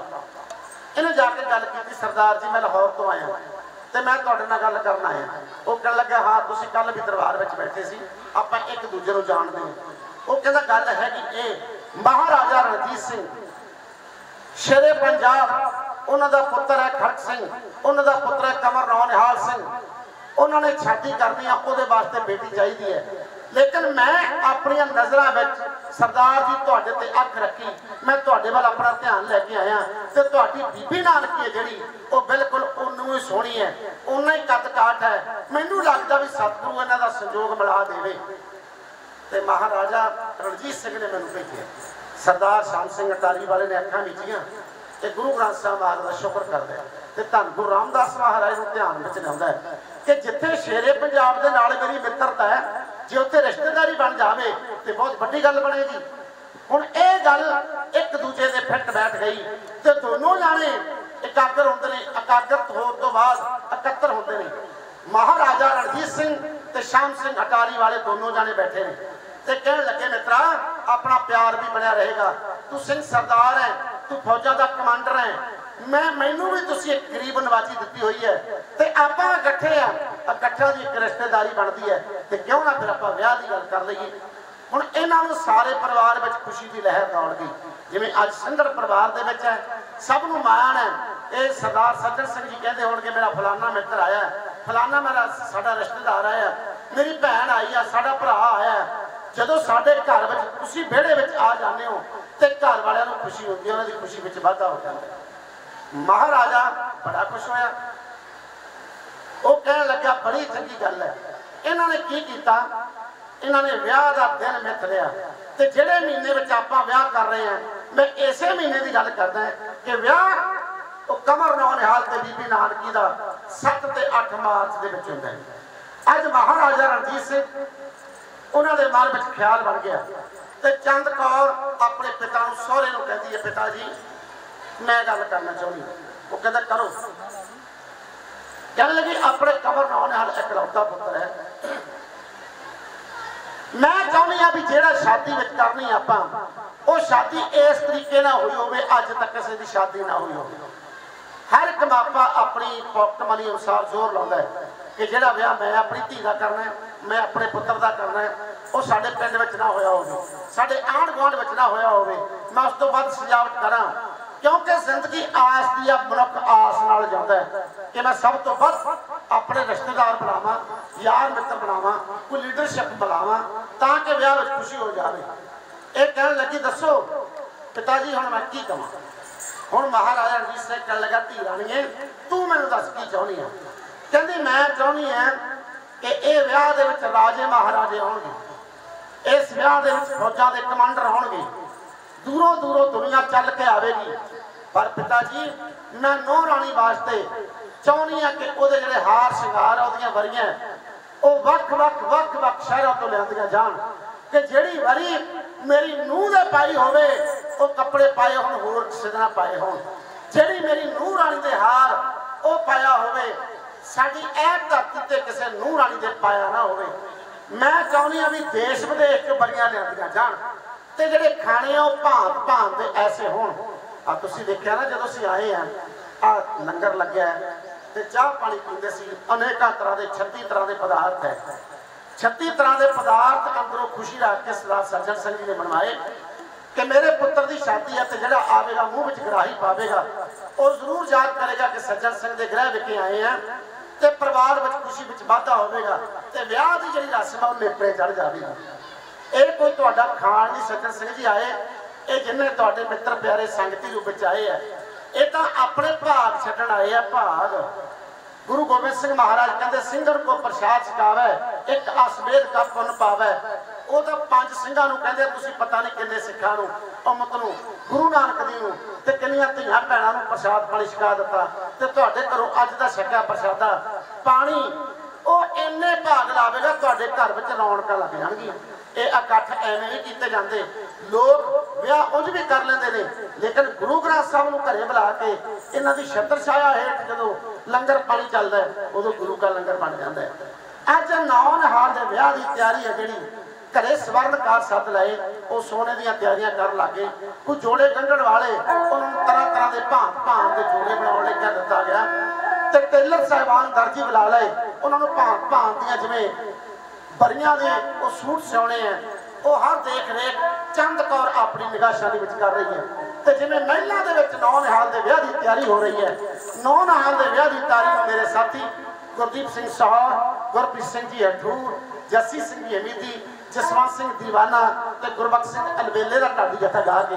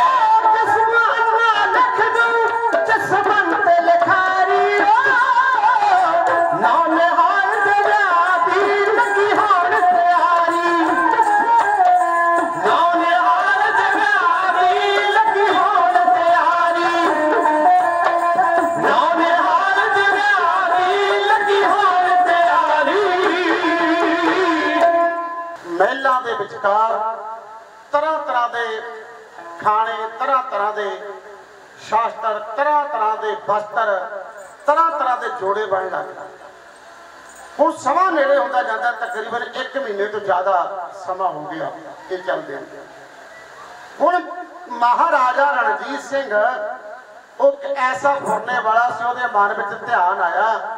ਉਹਨੇ ਜਿਹੜਾ ਵੀ ਕਾਰਜ ਕਰਿਆ, ਉਹਨੇ ਧੰਨ ਗੁਰੂ ਰਾਮਦਾਸ ਮਹਾਰਾਜ ਦੇ ਚਰਨਾਂ ਵਿੱਚ ਬੈਠ ਕੇ ਕਰਿਆ ਪਹਿਲਾਂ ਅਰਦਾਸ ਕਰਦਾ ਰਿਹਾ, ਅਰਦਾਸ ਕਰੀ, ਪਾਤਸ਼ਾਹ ਕਿਰਪਾ ਕਰੀ। ਮੇਰਾ ਕਾਰਜ ਰਾਸ ਆ ਜਾਵੇ। ਅੱਜ ਦੁਬਾਰੇ ਇਹਦੇ ਮਨ ਵਿੱਚ ਫੁਰਨਾ ਬਣਿਆ ਕਿ ਮੈਂ ਆਪਣੇ ਪੋਤਰੇ ਦੀ ਬਰਾਤ ਸ੍ਰੀ ਦਰਬਾਰ ਸਾਹਿਬ ਅੰਮ੍ਰਿਤਸਰ ਤੋਂ ਰਵਾਨਾ ਕਰਾਂਗਾ। ਹੁਣ ਇਹਨਾਂ ਨੇ ਇਕੱਠੇ ਹੋ ਗਏ। ਇਕੱਠੇ ਹੋ ਕੇ ਕਹਿਣ ਲੱਗੇ ਵੀ ਆਪਾਂ ਜ਼ਰੂਰ ਜਿਹੜੀ ਬਰਾਤ ਦੀ ਗੱਲ ਹੈ, ਉਹ ਅੰਮ੍ਰਿਤਸਰ ਦੀ ਧਰਤੀ ਤੋਂ ਹੈ। ਇੱਥੇ ਗੁਰੂ ਦਾ ਬਾਗ, ਉਹਦੇ ਵਿੱਚ ਬਾਗ ਦੇ ਵਿੱਚ ਆ ਕੇ ਲਾ ਦਿੱਤੇ ਗਏ ਤੰਬੂ। ਇੱਥੇ ਤੰਬੂ ਹਜ਼ਾਰਾਂ ਸੈਂਕੜਿਆਂ ਦੇ ਹਿਸਾਬ ਨਾਲ ਲਾ ਦਿੱਤੇ ਗਏ। ਇੰਜ ਲੱਗਦਾ ਸੀ ਜਿਵੇਂ ਅੰਮ੍ਰਿਤਸਰ ਦੀ ਧਰਤੀ ਤੇ ਆ ਕੇ ਇੱਕ ਨਵਾਂ ਪਿੰਡ ਵਸ ਗਿਆ ਹੋਵੇ। ਇੱਥੇ ਲੋਕ ਆ ਗਏ। ਇੱਥੇ ਰਾਮ ਬਾਗ ਰਾਮਗੜੀਆ ਬਾਗ ਦੇ ਨਾਲ ਉਹਦੇ ਵਿੱਚ ਫੌਜ ਦਾ ਉਤਾਰਾ ਕਰ ਦਿੱਤਾ ਗਿਆ। ਉੱਥੇ ਫੌਜੀ ਆਏ, ਜਰਨੈਲ ਆਏ। ਉੱਥੇ ਦੂਰੋਂ ਦੂਰੋਂ ਰਾਜੇ ਮਹਾਰਾਜਾ ਆ ਬਹੁਤ ਪਹੁੰਚੇ। ਇੱਥੇ ਮਲੇਰਕੋਟਲਾ, ਨਾਭਾ, ਜੀਂਦ, ਸਕੇਤ, ਨੈਣਵਾਲ ਕੋਟਬਾਗ ਇਹ ਸਾਰੇ ਲੋਕ ਰਾਜੇ ਮਹਾਰਾਜੇ ਚੱਲ ਕੇ ਆਏ ਇਸ ਵਿਆਹ ਦੇ ਵਿੱਚ। ਤੇ ਸਰ ਹੈਨਰੀ ਵੀ ਇਸ ਵਿਆਹ ਦੇ ਵਿੱਚ ਆਇਆ। ਅੰਗਰੇਜ਼ਾਂ ਵਿੱਚੋਂ ਸਿਰਫ ਇਕੱਲਾ ਹੀ ਆਇਆ ਉਹ ਸਰ ਹੈਨਰੀ। ਬਾਕੀ ਰਾਜੇ ਮਹਾਰਾਜੇ ਇਹਨਾਂ ਦੇ ਵਿਆਹ ਵਿੱਚ ਸ਼ਾਮਲ ਹੋਏ। ਅੱਜ ਗੁਰੂ ਰਾਮਦਾਸ ਮਹਾਰਾਜ ਦੇ ਚਰਨਾਂ ਵਿੱਚ ਮਹਾਰਾਜਾ ਰਣਜੀਤ ਸਿੰਘ ਬੈਠਾ ਇਹ ਤੋਂ ਖੁਸ਼ੀ ਦੀ ਹੱਦ ਨਹੀਂ। ਉਹ ਇੰਜ ਸੋਚੀ ਜਾਂਦਾ ਗੁਰੂ ਰਾਮਦਾਸ ਮਹਾਰਾਜ, ਜੋ ਤਿਸ ਭਾਵੈ ਤਿਵੈ ਚਲਾਵੈ ਜਿਵ ਹੋਵੇ ਪ੍ਰਮਾਣ ਤੂੰ ਜਿਵੇਂ ਜਿਵੇਂ ਹੁਕਮ ਕਰੀ ਜਾਂਦਾ ਆ ਕਾਰਜ ਹੋਈ ਜਾਂਦਾ ਹੈ। ਆਸਾ ਸੱਜਣ ਸਿੰਘ ਜੀ, ਨੰਬਰਦਾਰ ਸਾਹਿਬ, ਇਹਨਾਂ ਦੇ ਵੀ ਮਨ ਵਿੱਚ ਖਿਆਲ ਹੋ ਅਰਦਾਸ ਕਰਿਓ ਪਾਤਸ਼ਾਹ, ਤੂੰ ਆ ਕਾਰਜ ਮੇਰਾ ਸਿਰੇ ਚੜਾਈ ਅਸੀਂ ਜਿੱਦੇ ਤੁਸੀਂ ਬੈਠੇ ਹੋ, ਆਪਣੇ ਘਰਾਂ ਵਿੱਚ ਕਾਰਜ ਕਰਦੇ ਆ ਨਾ, ਉਦੋਂ ਉਹ ਅਕਾਲ ਪੁਰਖ ਦੇ ਚਰਨਾਂ ਵਿੱਚ ਅਰਦਾਸ ਕਰਦੇ ਗੁਰੂ ਗ੍ਰੰਥ ਸਾਹਿਬ ਮਹਾਰਾਜ ਦੇ। ਪਾਤਸ਼ਾਹ ਆ ਕਾਰਜ ਸਾਡਾ ਸਿਰੇ ਚੜਾਈ ਕਿਸੇ ਲੜਾਈ ਤੋਂ, ਪੜ੍ਹਾਈ ਤੋਂ, ਦੁੱਖ ਤੋਂ ਦੁਖਾਂ ਤੋਂ, ਤੰਗ ਤੋਂ, ਦੁਖੀ ਤੋਂ ਕੋਈ ਐਸੀ ਵਾਰਤਾ ਨਾ ਹੋਵੇ ਸਾਡੇ ਘਰ ਵਿੱਚ ਖੁਸ਼ੀਆਂ ਹੋਣ ਤੇ ਵਿਆਹ ਵਿਆਹ ਰਹਿੰਦੀ ਦੁਨੀਆ ਤੱਕ ਯਾਦ ਰੱਖੇ ਕਿ ਸੱਜਣ ਸਿੰਘ ਦੇ ਘਰ ਵਿੱਚ ਵਿਆਹ ਹੋਇਆ ਸੀ। ਹੁਣ ਗੁਰੂ ਰਾਮਦਾਸ ਮਹਾਰਾਜ ਦੇ ਚਰਨਾਂ ਵਿੱਚ ਇਹਦੇ ਭਾਵਨਾ ਬਣੀ ਹੋਈ ਰੋਜ਼ ਆਉਂਦਾ ਰੋਜ਼ ਆਉਂਦਾ ਇਹਨੇ ਕੀ ਕੀਤਾ? ਗੁਰੂ ਰਾਮਦਾਸ ਮਹਾਰਾਜ ਦੇ ਚਰਨਾਂ ਵਿੱਚ ਅਰਦਾਸ ਕੀਤੀ। ਅਰਦਾਸ ਕਰਕੇ ਅੱਜ ਦਿਨ ਆਇਆ 6 ਦਾ ਦਿਨ ਛਪ ਗਿਆ ਤੇ ਸੱਤ ਦਾ ਦਿਨ ਚੜਦਾ ਹੈ। ਇਹਨੇ ਸਵੇਰੇ ਕਮਰ ਰੌਣ ਹਾਲ ਨੂੰ ਤਿਆਰ ਕੀਤਾ। ਰਾਣੀ ਚੰਦ ਕੌਰ, ਉਹ ਤੋਂ ਇੰਨੀਆਂ ਖੁਸ਼ੀਆਂ ਸਾਂਭੀਆਂ ਨਹੀਂ ਜਾਂਦੀਆਂ ਕਿ ਅੱਜ ਮੇਰਾ ਪੁੱਤਰ, ਅੱਜ ਮੇਰੇ ਪੁੱਤਰ ਦੇ ਸਿਹਰਾ ਸਜਾ ਜਾਣਾ ਜਿਵੇਂ ਕਿ ਸਤਿਕਾਰਯੋਗ ਮਾਤਾ ਮਹਿੰਦਰ ਕੌਰ ਹੈ ਨਾ, ਉਹਦੇ ਮਨ ਵਿੱਚ ਚਾਹ ਹੋਵੇਗਾ ਕਿ ਮੇਰੇ ਪੁੱਤਰ ਦੇ ਸੀਸ ਤੇ ਸਿਹਰਾ ਸਜਣਾ ਤੇ ਸਾਡੀ ਗੁੜੀਆ ਭੈਣ ਸੰਦੀਪ ਕੌਰ ਦੇ ਮਨ ਵਿੱਚ ਚਾਹ ਹੋਵੇਗਾ, ਸਿਹਰਾ ਮੈਂ ਸਜਾਉਣਾ ਹੈ। ਵੀਰੋ, ਇਹ ਸਿਹਰੇ ਦੀ ਰਸਮ, ਜਦੋਂ ਸਿਹਰਾ ਨਾ ਲਿਆ ਜਾਂਦਾ ਨਾ, ਇੱਕ ਹੁੰਦੀ ਹੈ ਕੋਈ ਗੱਲ। ਕਿਸੇ ਨੇ ਕਾਰਜ ਸਿਰੇ ਚੜਾਤਾ ਅਗਲਾ ਕਹਿੰਦਾ ਫਲਾਣੇ ਸਿਰ ਦੇ ਸਿਹਰਾ ਚ ਗਿਆ ਸਿਰ ਨੂੰ। ਤੇ ਜਦੋਂ ਆਹ ਸਿਹਰਾ ਆਉਂਦਾ ਨਾ, ਦਿਲ ਖੁਸ਼ੀਆਂ ਦਾ ਢੀਕਦੇ ਆ। ਉਹ ਭੈਣ ਨੂੰ ਪਤਾ ਹੁੰਦਾ ਵੀ ਮੇਰੇ ਹੱਥਾਂ ਵਿੱਚ ਕਿੰਨੀਆਂ ਗੰਢਾਂ ਨੇ। ਉਹ ਮਾਂ ਨੂੰ ਪਤਾ ਹੁੰਦਾ ਮੈਂ ਆਪਣੇ ਪੁੱਤਰ ਨੂੰ ਕਿਵੇਂ ਤੱਕਣਾ ਹੈ। ਇੱਕ ਤਾਂ ਮਾਂ ਜਨਮ ਲੈਣ ਵੇਲੇ ਪੁੱਤਰ ਨੂੰ ਤੱਕਦੀ ਹੈ। ਇੱਕ ਮਾਂ ਉਦੋਂ ਤੱਕਦੀ ਹੈ ਜਦੋਂ ਪੁੱਤਰ ਵਿਆਹੁੰਦਾ ਹੈ। ਵਿਆਹੁਣ ਜਾਣਾ ਹੁੰਦਾ ਹੈ। ਸਿਹਰੇ ਵਾਲਾ ਮੁਖ ਤੱਕਦੀ ਹੈ। ਇੱਕ ਦਿਨ ਮਾਂ ਆਪਣੇ ਪੁੱਤਰ ਦੇ ਰੋਂਦੇ ਤੋਂ ਹੱਸਦੀ ਹੈ। ਉਹ ਕਦੋਂ? ਜਦੋਂ ਬੱਚਾ ਜਨਮ ਲੈਂਦਾ ਭੈਣੋ, ਉਦੋਂ ਇੱਕ ਰੋਣ ਦੀ ਚੀਕ ਬੱਚਾ ਪਹਿਲੀ ਚੀਕ ਮਾਰਦਾ ਹੈ। ਉਹ ਚੀਕ ਵੱਜਦੀ ਹੈ ਤੇ ਮਾਂ ਹੱਸ ਪੈਂਦੀ ਹੈ। ਲੇਕਿਨ ਉਸ ਤੋਂ ਬਾਅਦ ਜੇ ਕਿਤੇ ਬੱਚਾ ਰੋਇਆ ਨਾ, ਮਾਂ ਢੱਡ ਵਿੱਚ ਮੁੱਕੀਆਂ ਮਾਰ ਮਾਰ ਕੇ ਰੋਊਗੀ। ਮਾਂ ਤਾਂ ਹੱਥੜੇ ਮਾਰ ਮਾਰ ਰੋਊ, ਆਪਣੇ ਬੱਚੇ ਦੇ ਕੰਡਾ ਵੱਜਦਾ ਨਹੀਂ ਚੁੱਕਦੀ ਕਿਉਂਕਿ ਮਾਂ ਦੀ ਮਮਤਾ ਹੀ ਏਡੀ ਹੈ। ਤੇ ਫਿਰ ਇਹ ਸਿਹਰੇ ਵਾਲਾ ਦਿਨ ਢੀਕਦੀ ਹੈ। ਚੰਦ ਕੌਰ ਤੋਂ ਖੁਸ਼ੀ ਨਾਲ ਸਾਂਭੀ ਜਾਵੇ ਕਿ ਮੇਰੇ ਪੁੱਤਰ ਦੇ ਸੀਸ ਤੇ ਸਿਹਰਾ ਸਜਾਇਆ ਜਾਣਾ ਆਪਣੇ ਪਤੀ ਨੂੰ ਜਾ ਕੇ ਕਹਿਣ ਲੱਗੀ, ਖੜਕ ਸਿੰਘ ਨੂੰ ਐ ਸਿਰ ਦੇ ਸਾਈਆਂ, ਅੱਜ ਮੇਰੇ ਪੁੱਤਰ ਦੇ ਸਿਰ ਤੇ ਸੀਸ ਦੇ ਉੱਤੇ ਸਿਹਰਾ ਸਜਣਾ ਹੈ। ਦੇਖੀ ਕਿਤੇ ਨਜ਼ਰ ਨਾ ਲੱਗ ਜਾਵੇ। ਮੇਰੇ ਪੁੱਤਰ ਦੇ ਕੋਲੇ ਖੜੀ ਨਜ਼ਰਾਂ ਦਾ ਪਤਾ ਨਹੀਂ ਨਜ਼ਰ ਕਿੱਥੋਂ ਆ ਜਾਵੇ। ਨਜ਼ਰ ਇੱਕ ਹੌਕੇ ਦੀ ਹੁੰਦੀ ਹੈ। ਹੌਕੇ ਦੀ ਨਜ਼ਰ ਆ ਜਿਹੜੀ ਮਨੁੱਖ ਡੋਲ ਜਾਂਦਾ। ਉਦੋਂ ਡੋਲਿਆ ਹੁੰਦਾ ਕਿ ਇਹਦੇ ਪੁੱਤਰ ਦੇ ਸਿਰ ਤੇ ਸਿਹਰਾ ਸਜਾ, ਮੇਰੇ ਪਤਾ ਨਹੀਂ ਕਦੋਂ ਸਜਣਾ। ਲੇਕਿਨ ਜਦੋਂ ਗੁਰੂ ਰਹਿਮਤ ਕਰਦਾ ਵੀਰੋ, ਉਹਦੀ ਰਹਿਮਤ ਦੇ ਪਾਤਰ ਬਣੋ, ਕਿਸੇ ਦੀ ਖੁਸ਼ੀ ਵਿੱਚ ਸ਼ਰੀਕ ਹੋਵੋ। ਉਹਦੀ ਖੁਸ਼ੀ ਨੂੰ ਆਪਣੀ ਖੁਸ਼ੀ ਮੰਨੋ ਤੇ ਤੁਹਾਡੇ ਘਰ ਵਿੱਚ ਖੁਸ਼ੀਆਂ ਆਉਣਗੀਆਂ। ਕਿਉਂਕਿ ਗੁਰੂ ਗ੍ਰੰਥ ਸਾਹਿਬ ਮਹਾਰਾਜ ਕਹਿੰਦੇ ਨੇ, ਲੱਖ ਖੁਸ਼ੀਆਂ, ਪਾਤਸ਼ਾਹੀਆਂ। ਇੱਥੇ ਸ਼ਬਦ ਆ ਗਿਆ, ਜੇ। ਜੇ ਸਤਿਗੁਰ ਨਜ਼ਰ ਕਰੇ ਜੇ ਦਾ ਭਾਵ ਆ ਵੀ ਤੂੰ ਅੰਦਰੋਂ ਭਾਵਨਾ ਬਣਾ, ਅੰਦਰੋਂ। ਜੇ ਤੇਰੇ ਅੰਦਰੋਂ ਫੁੱਲ ਖੜ ਗਿਆ ਗੁਰੂ ਪ੍ਰਤੀ, ਬਸ ਫਿਰ ਇੱਕ ਨਹੀਂ, ਫਿਰ ਗੁਰੂ ਪਾਤਸ਼ਾਹ ਅਗਲੇ ਲੈਣ ਸਾਕੀ ਭਰਦੇ ਨੇ। ਕਹਿੰਦੇ ਨਿਮਕ ਏਕ, ਅੱਖ ਦੇ ਫੋਰੇ ਨਾਲ। ਨਿਮਕ ਏਕ ਹਰ ਨਾਮ ਦੇ, ਮੇਰਾ ਮਨ ਤਨ ਸੀਤਲ। ਇਹ ਖੁਸ਼ੀਆਂ ਪ੍ਰਾਪਤ ਹੁੰਦੀਆਂ। ਤੇ ਚੰਦ ਕੌਰ ਦੇ ਆਪਣੇ ਪੁੱਤਰ ਦੇ ਸੀਸ ਤੇ ਸਿਹਰਾ ਦੇ ਕੇ ਨਾ ਸਜਿਆ। ਤੇ ਸ਼ੁਕਰਾਨਾ ਕਰਦੀ ਹੈ ਤੇ ਪੁੱਤਰ ਨੂੰ ਘੁੱਟ ਕੇ ਗਲਵਕੜੀਆਂ ਲੈਂਦੀ ਹੈ ਪੁੱਤਰਾ, ਲੈ ਮੈਂ ਭਾਗਾ ਵਾਲੀ ਹੋ ਗਈ, ਤੇਰੇ ਸਿਰ ਦੇ ਉੱਤੇ ਸਿਹਰਾ ਵੀ ਦੇਖ ਲਿਆ। ਹੁਣ ਮਹਾਰਾਜਾ ਰਣਜੀਤ ਸਿੰਘ ਆਪਣੇ ਪੋਤਰੇ ਨੂੰ ਨਾਲ ਲੈ ਕੇ ਧੰਨ ਗੁਰੂ ਰਾਮਦਾਸ ਮਹਾਰਾਜ ਦੇ ਚਰਨਾਂ ਵਿੱਚ ਜਾਂਦਾ ਹੈ। ਤੇ ਚਰਨਾਂ ਵਿੱਚ ਗਿਆ ਇਹਨੇ ਦੇਖ ਕਰਾਈ ਦੇਖ ਲੈ ਕੇ ਗੁਰੂ ਪਾਤਸ਼ਾਹ ਦੇ ਚਰਨਾਂ ਵਿੱਚ ਗਿਆ। ਹੱਥ ਜੋੜੇ, ਹੱਥ ਜੋੜ ਕੇ ਜਦੋਂ ਖੜੇ ਸੀ ਖੜੇ ਖੜੇ ਦੀ ਕੋੜਣੀ ਲੱਗੀ ਅਰਦਾਸ ਦੇਖੋ ਕੈਸੀ ਹੁੰਦੀ ਹੈ। ਅਰਦਾਸ ਤੁਸੀਂ ਵੀ ਕਰਦੇ ਹੋ। ਅਰਦਾਸ ਮੈਂ ਵੀ ਕਰਦਾ ਪੂਰੀ ਦੁਨੀਆ ਅਰਦਾਸ ਕਰਦੀ ਹੈ। ਕੋਈ ਦੁਨੀਆ ਦਾ ਮਨੁੱਖ ਨਹੀਂ, ਕੋਈ ਦੁਨੀਆ ਦਾ ਧਰਮ ਨਹੀਂ, ਜਿਹੜਾ ਆਪਣੀ ਡਿਮਾਂਡ ਲੈ ਕੇ ਆਪਣੇ ਧਰਮ ਪ੍ਰਤੀ ਜਾਂਦਾ ਨਾ ਹੋਵੇ। ਕੋਈ ਦੁਨੀਆ ਦਾ ਐਸਾ ਮਨੁੱਖ ਨਹੀਂ, ਜਿਹੜਾ ਡਿਮਾਂਡ ਨਾ ਰੱਖਦਾ ਹੋਵੇ ਆਪਣੇ ਗੁਰੂ ਕੋਲੇ। ਹਰ ਕਹਿੰਦਾ ਕੋਈ ਦੁੱਧ ਦੇ, ਪੁੱਤ ਦੇ, ਸੰਸਾਰ ਦੇ ਸੁੱਖ ਦੇ। ਸਾਡੇ ਬੱਚੇ ਕੈਨੇਡਾ ਮੈਂ ਰਿਕਾਰਡ ਜਾਣ। ਸਾਡੀ ਫੈਮਿਲੀ ਸੁੱਖ ਹੋ ਜਾਵੇ। ਮੈਂ ਕੋਠੀ ਪਾ ਲਵਾਂ ਕਾਰ ਲੈ ਲਵਾਂ। ਇਹ ਸਾਡੀ ਡਿਮਾਂਡ ਹੈ, ਦੁਨਿਆਵੀ। ਕਿਉਂਕਿ ਪਦਾਰਥਵਾਦੀ ਦੁਨੀਆ ਬਣ ਗਈ ਨਾ। ਤੇ ਪਰਮਾਰਥ ਦੀ ਗੱਲ ਇਹ ਕਹਿੰਦੀ ਆ, ਮੇਰੇ ਪਾਤਸ਼ਾਹ ਸ਼ਹਿਰ ਲੱਗਦਾ ਉਹ ਕਹਿੰਦਾ, ਘਰ ਤੋਂ ਸ਼ਰਧਾ ਨਾਲ ਆ, ਚੱਲ ਆਉਂਦੇ। ਲੈ ਕੇ ਮਨ ਦੇ ਵਿੱਚ ਮਨੋ ਕਾਮਨਾ ਨੂੰ। ਬੋਲ ਬੋਲ ਕੇ ਗੁਰੂ ਨੂੰ ਕਹਿਣ ਸਾਰੇ, ਪੂਰੀਆਂ ਕਰ ਸਾਡੇ ਮਨ ਦੀਆਂ ਭਾਵਨਾ ਨੂੰ। ਓਏ ਹੱਥ ਜੋੜ ਕੇ ਗੁਰੂ ਨੂੰ ਕਹਿਣ ਸਾਰੇ, ਸਾਡੀ ਦਾਤਿਆ ਚੜ੍ਹਦੀ ਹੀ ਕਲਾ ਹੋਵੇ। ਓ ਕਦੇ ਮੁੱਖੋਂ ਜਸਵੰਤ ਨਹੀਂ, ਇਹ ਕਹਿੰਦੇ ਤੇਰੇ ਭਾਣੇ ਸਰਬੱਤ ਦਾ। ਭਲਾ ਹੋਵੇ। ਕਹਿੰਦੇ ਇੱਕ ਭਲੇ ਦੀ ਕਾਮਨਾ ਕਰਕੇ ਦੇਖ, ਫਿਰ ਤੇਰੇ ਮਨ ਦੀਆਂ ਮੁਰਾਦਾਂ ਕਿਵੇਂ ਪੂਰੀਆਂ ਹੁੰਦੀਆਂ। ਅਰਦਾਸ ਕਰਦਾ ਮਹਾਰਾਜਾ ਰਣਜੀਤ ਸਿੰਘ। ਅੰਦਰੋਂ ਜੁੜ ਗਿਆ। ਉਹ ਜਦੋਂ ਵੀ ਉਹਨੇ ਅਰਦਾਸ ਕੀਤੀ, ਅੰਦਰੋਂ ਜੁੜਿਆ, ਅੰਦਰੋਂ। ਜੁੜਨਾ ਵੀਰੋ, ਇੱਕ ਜ਼ਿੰਦਗੀ ਹੈ ਤੇ ਟੁੱਟ ਜਾਣਾ ਮੌਤ ਹੈ। ਮੇਰੇ ਗੱਲ ਯਾਦ ਆ ਗਈ। ਇੱਕ ਬੰਦਾ, ਇੱਕ ਗਰੀਬ ਆ, ਬੱਕਰੀਆਂ ਤੇ ਭੇਡਾਂ ਚਾਰਦਾ।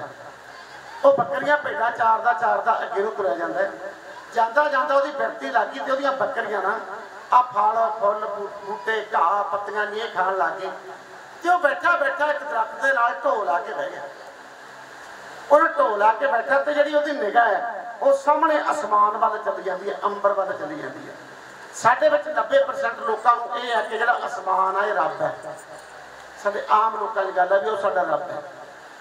ਹੁਣ ਉਹ ਜਿਹੜਾ ਵਿਚਾਰਾ ਗਰੀਬ ਆ, ਬੱਕਰੀਆਂ ਭੇਡਾਂ ਚਾਰਨ ਵਾਲਾ ਉਹਦੀ ਬਿਰਤੀ ਲੱਗ ਗਈ ਤੇ ਉਹ ਅਰਦਾਸ ਕਰਦਾ ਕਰਦਾ ਕਹਿੰਦਾ ਉਹ ਰੱਬਾ, ਓਏ ਜੇ ਤੂੰ ਧਰਤੀ ਤੇ ਆਵੇਂ ਹੈ ਧਰਤੀ ਤੇ, ਮੇਰੇ ਕੋਲੇ ਆਵੇਂ, ਮੇਰੀਆਂ ਬੱਕਰੀਆਂ ਭੇਡਾਂ ਦਾ ਦੁੱਧ ਚੋ ਕੇ ਪਹਿਲਾਂ ਤੈਨੂੰ ਨਵਾਵਾਂ, ਬੱਦਲਾਂ ਨੂੰ ਦੇਖ ਕੇ ਕਹਿੰਦਾ ਨਾ, ਆ ਤੇਰੇ ਕਾਲੇ ਜੇ ਧੱਬੇ ਮੈਂ ਧੋਵਾਂ, ਮੈਂ ਦਹੀਂ ਜਮਾਵਾਂ, ਫਿਰ ਤੈਨੂੰ ਦਹੀਂ ਨਾ ਨਵਾਵਾਂ, ਮੇਰੀਆਂ ਬੱਕਰੀਆਂ ਭੇਡਾਂ ਦਾ ਦੁੱਧ ਪਵਿੱਤਰ ਹੈ, ਇਹ ਕਿਸੇ ਦਾ ਹੱਕ ਨਹੀਂ ਖਾਂਦੀਆਂ।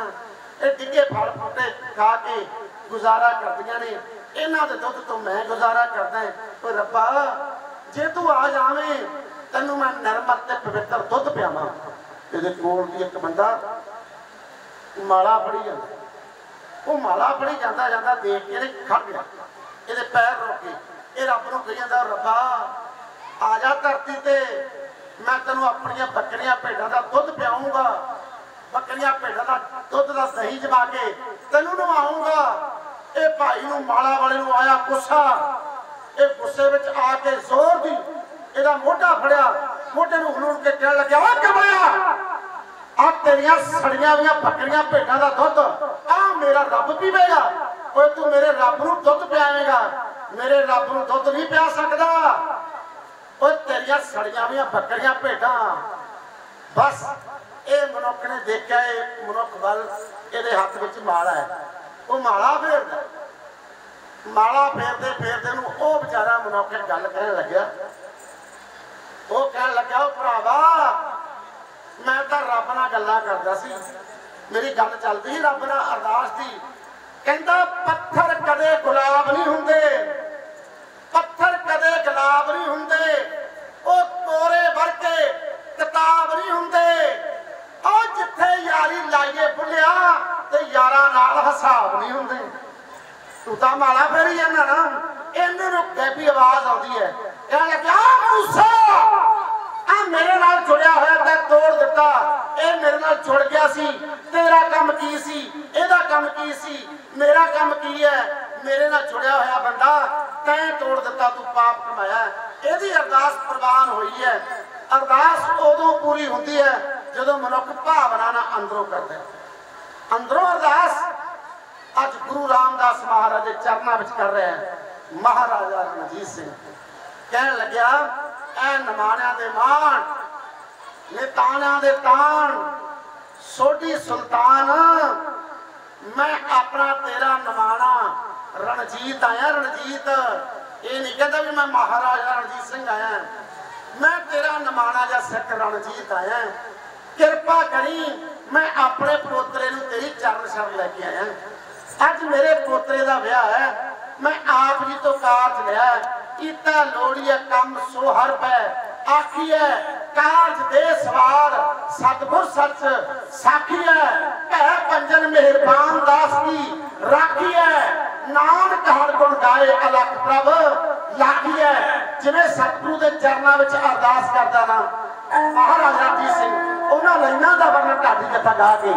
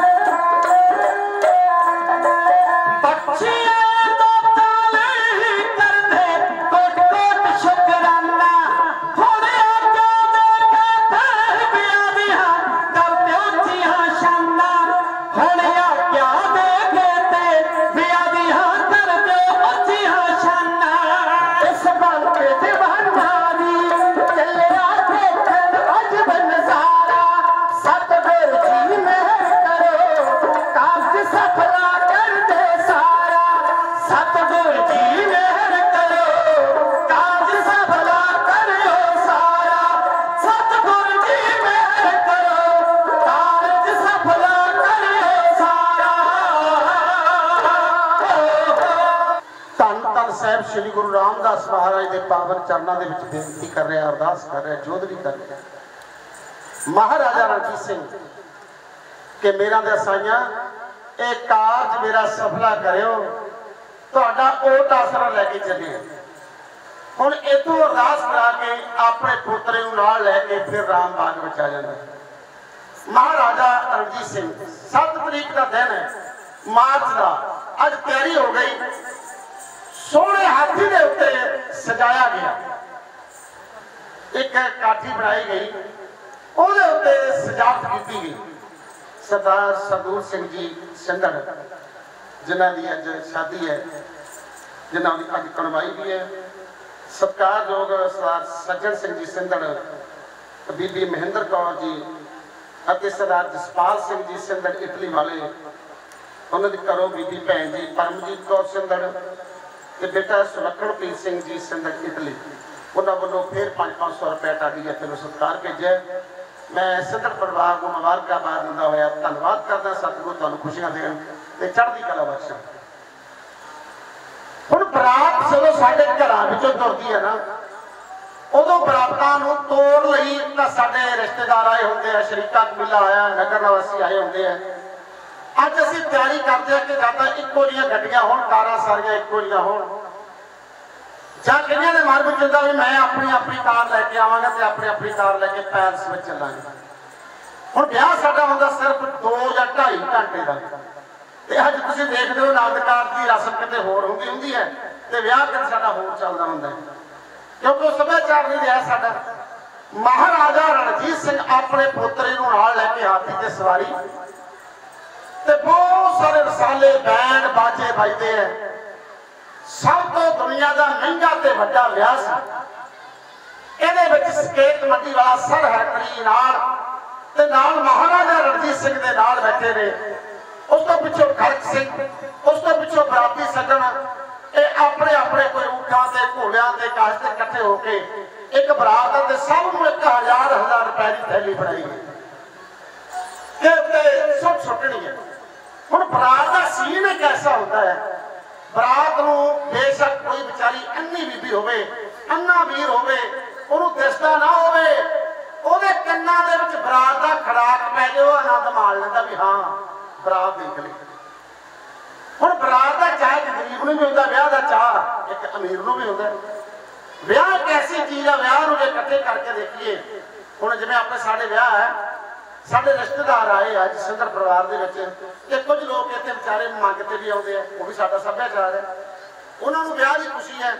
ਉਹ ਵੀ ਵਿਚਾਰੇ ਉਡੀਕ ਕਰਦੇ ਫਲਾਣੇ ਦੇ ਵਿਆਹ ਵਿੱਚ ਜਾਵਾਂਗੇ ਸ਼ਰੀਕ ਹੋਵਾਂਗੇ, ਸਾਨੂੰ ਚਾਰ ਛਗੜਾ ਮਿਲਣਗੀਆਂ। ਕੁਝ ਲੋਕ ਮੰਗਦੇ ਹੁੰਦੇ ਆ। ਤੇ ਉਦੋਂ ਵੀ ਬਰਾਤ ਦੇ ਨਾਲ ਇੰਨਾ ਮੰਗਤਾ ਗਿਆ, ਇੰਨਾ ਮੰਗਤਾ ਗਿਆ 5 ਮੀਲ ਚੌੜਾ ਤੇ 5 ਮੀਲ ਲੰਬਾ ਇੱਕ ਉੱਥੇ ਘੇਰਾ ਬਣਾਇਆ ਗਿਆ, ਜਿਹਦੇ ਵਿੱਚ ਮੰਗਤਾ ਨੂੰ ਪਾਇਆ ਗਿਆ। ਤੇ ਖੱਟਾ ਖੜਕ ਸਿੰਘ, ਉਹਦੇ ਨਾਲ ਦੋ ਲਾ ਕੇ ਚਾਰ ਦਰਵਾਜ਼ੇ ਰੱਖੇ ਗਏ। ਵਿਆਹ ਦੀ ਖੁਸ਼ੀ ਦੀ ਗੱਲ ਕਿ ਇਹਦੇ ਵਿੱਚ ਇੱਕ ਇੱਕ ਰੁਪਈਆ ਜਿਹੜਾ ਆਵੇਗਾ ਤੇ ਆਹ ਗੇਟ ਨਿਕਲੀ ਜਾਵੇ ਤੇ ਨਿਸ਼ਾਨੀ ਰੱਖਣੀ ਹੈ ਵੀ ਆਹ ਪੈਸੇ ਵੰਡੇ ਜਾਣਗੇ ਗਰੀਬ ਜਨਤਾ। ਹੁਣ ਵਿਆਹ ਦਾ ਚਾਹ ਫਿਰ ਕਿਉਂ ਨਾ ਹੋਵੇ? ਵਿਆਹ ਦਾ ਚਾਹ ਹਰੇਕ ਖੁਸ਼ੀ ਮਨਾਉਂਦਾ ਹੈ। ਹੁਣ ਸ਼ਹਿਨਾਈਆਂ ਦੀ ਗੂੰਜ ਦੂਰ ਦੂਰ ਤੱਕ ਪੈਣ ਲੱਗ ਅੰਮ੍ਰਿਤਸਰ ਦੀ ਧਰਤੀ ਤੋਂ ਉੱਤੋਂ ਰਵਾਨਾ ਹੋਈ ਬਰਾਤ। ਇਹਨੇ ਜੈਕਾਰੇ ਛੱਡੇ ਮਹਾਰਾਜਾ ਰਣਜੀਤ ਸਿੰਘ ਨੇ। ਸ਼ਹਿਨਾਈਆਂ ਨੇ ਆਪਣੀ ਗੂੰਜ ਪਾਈ।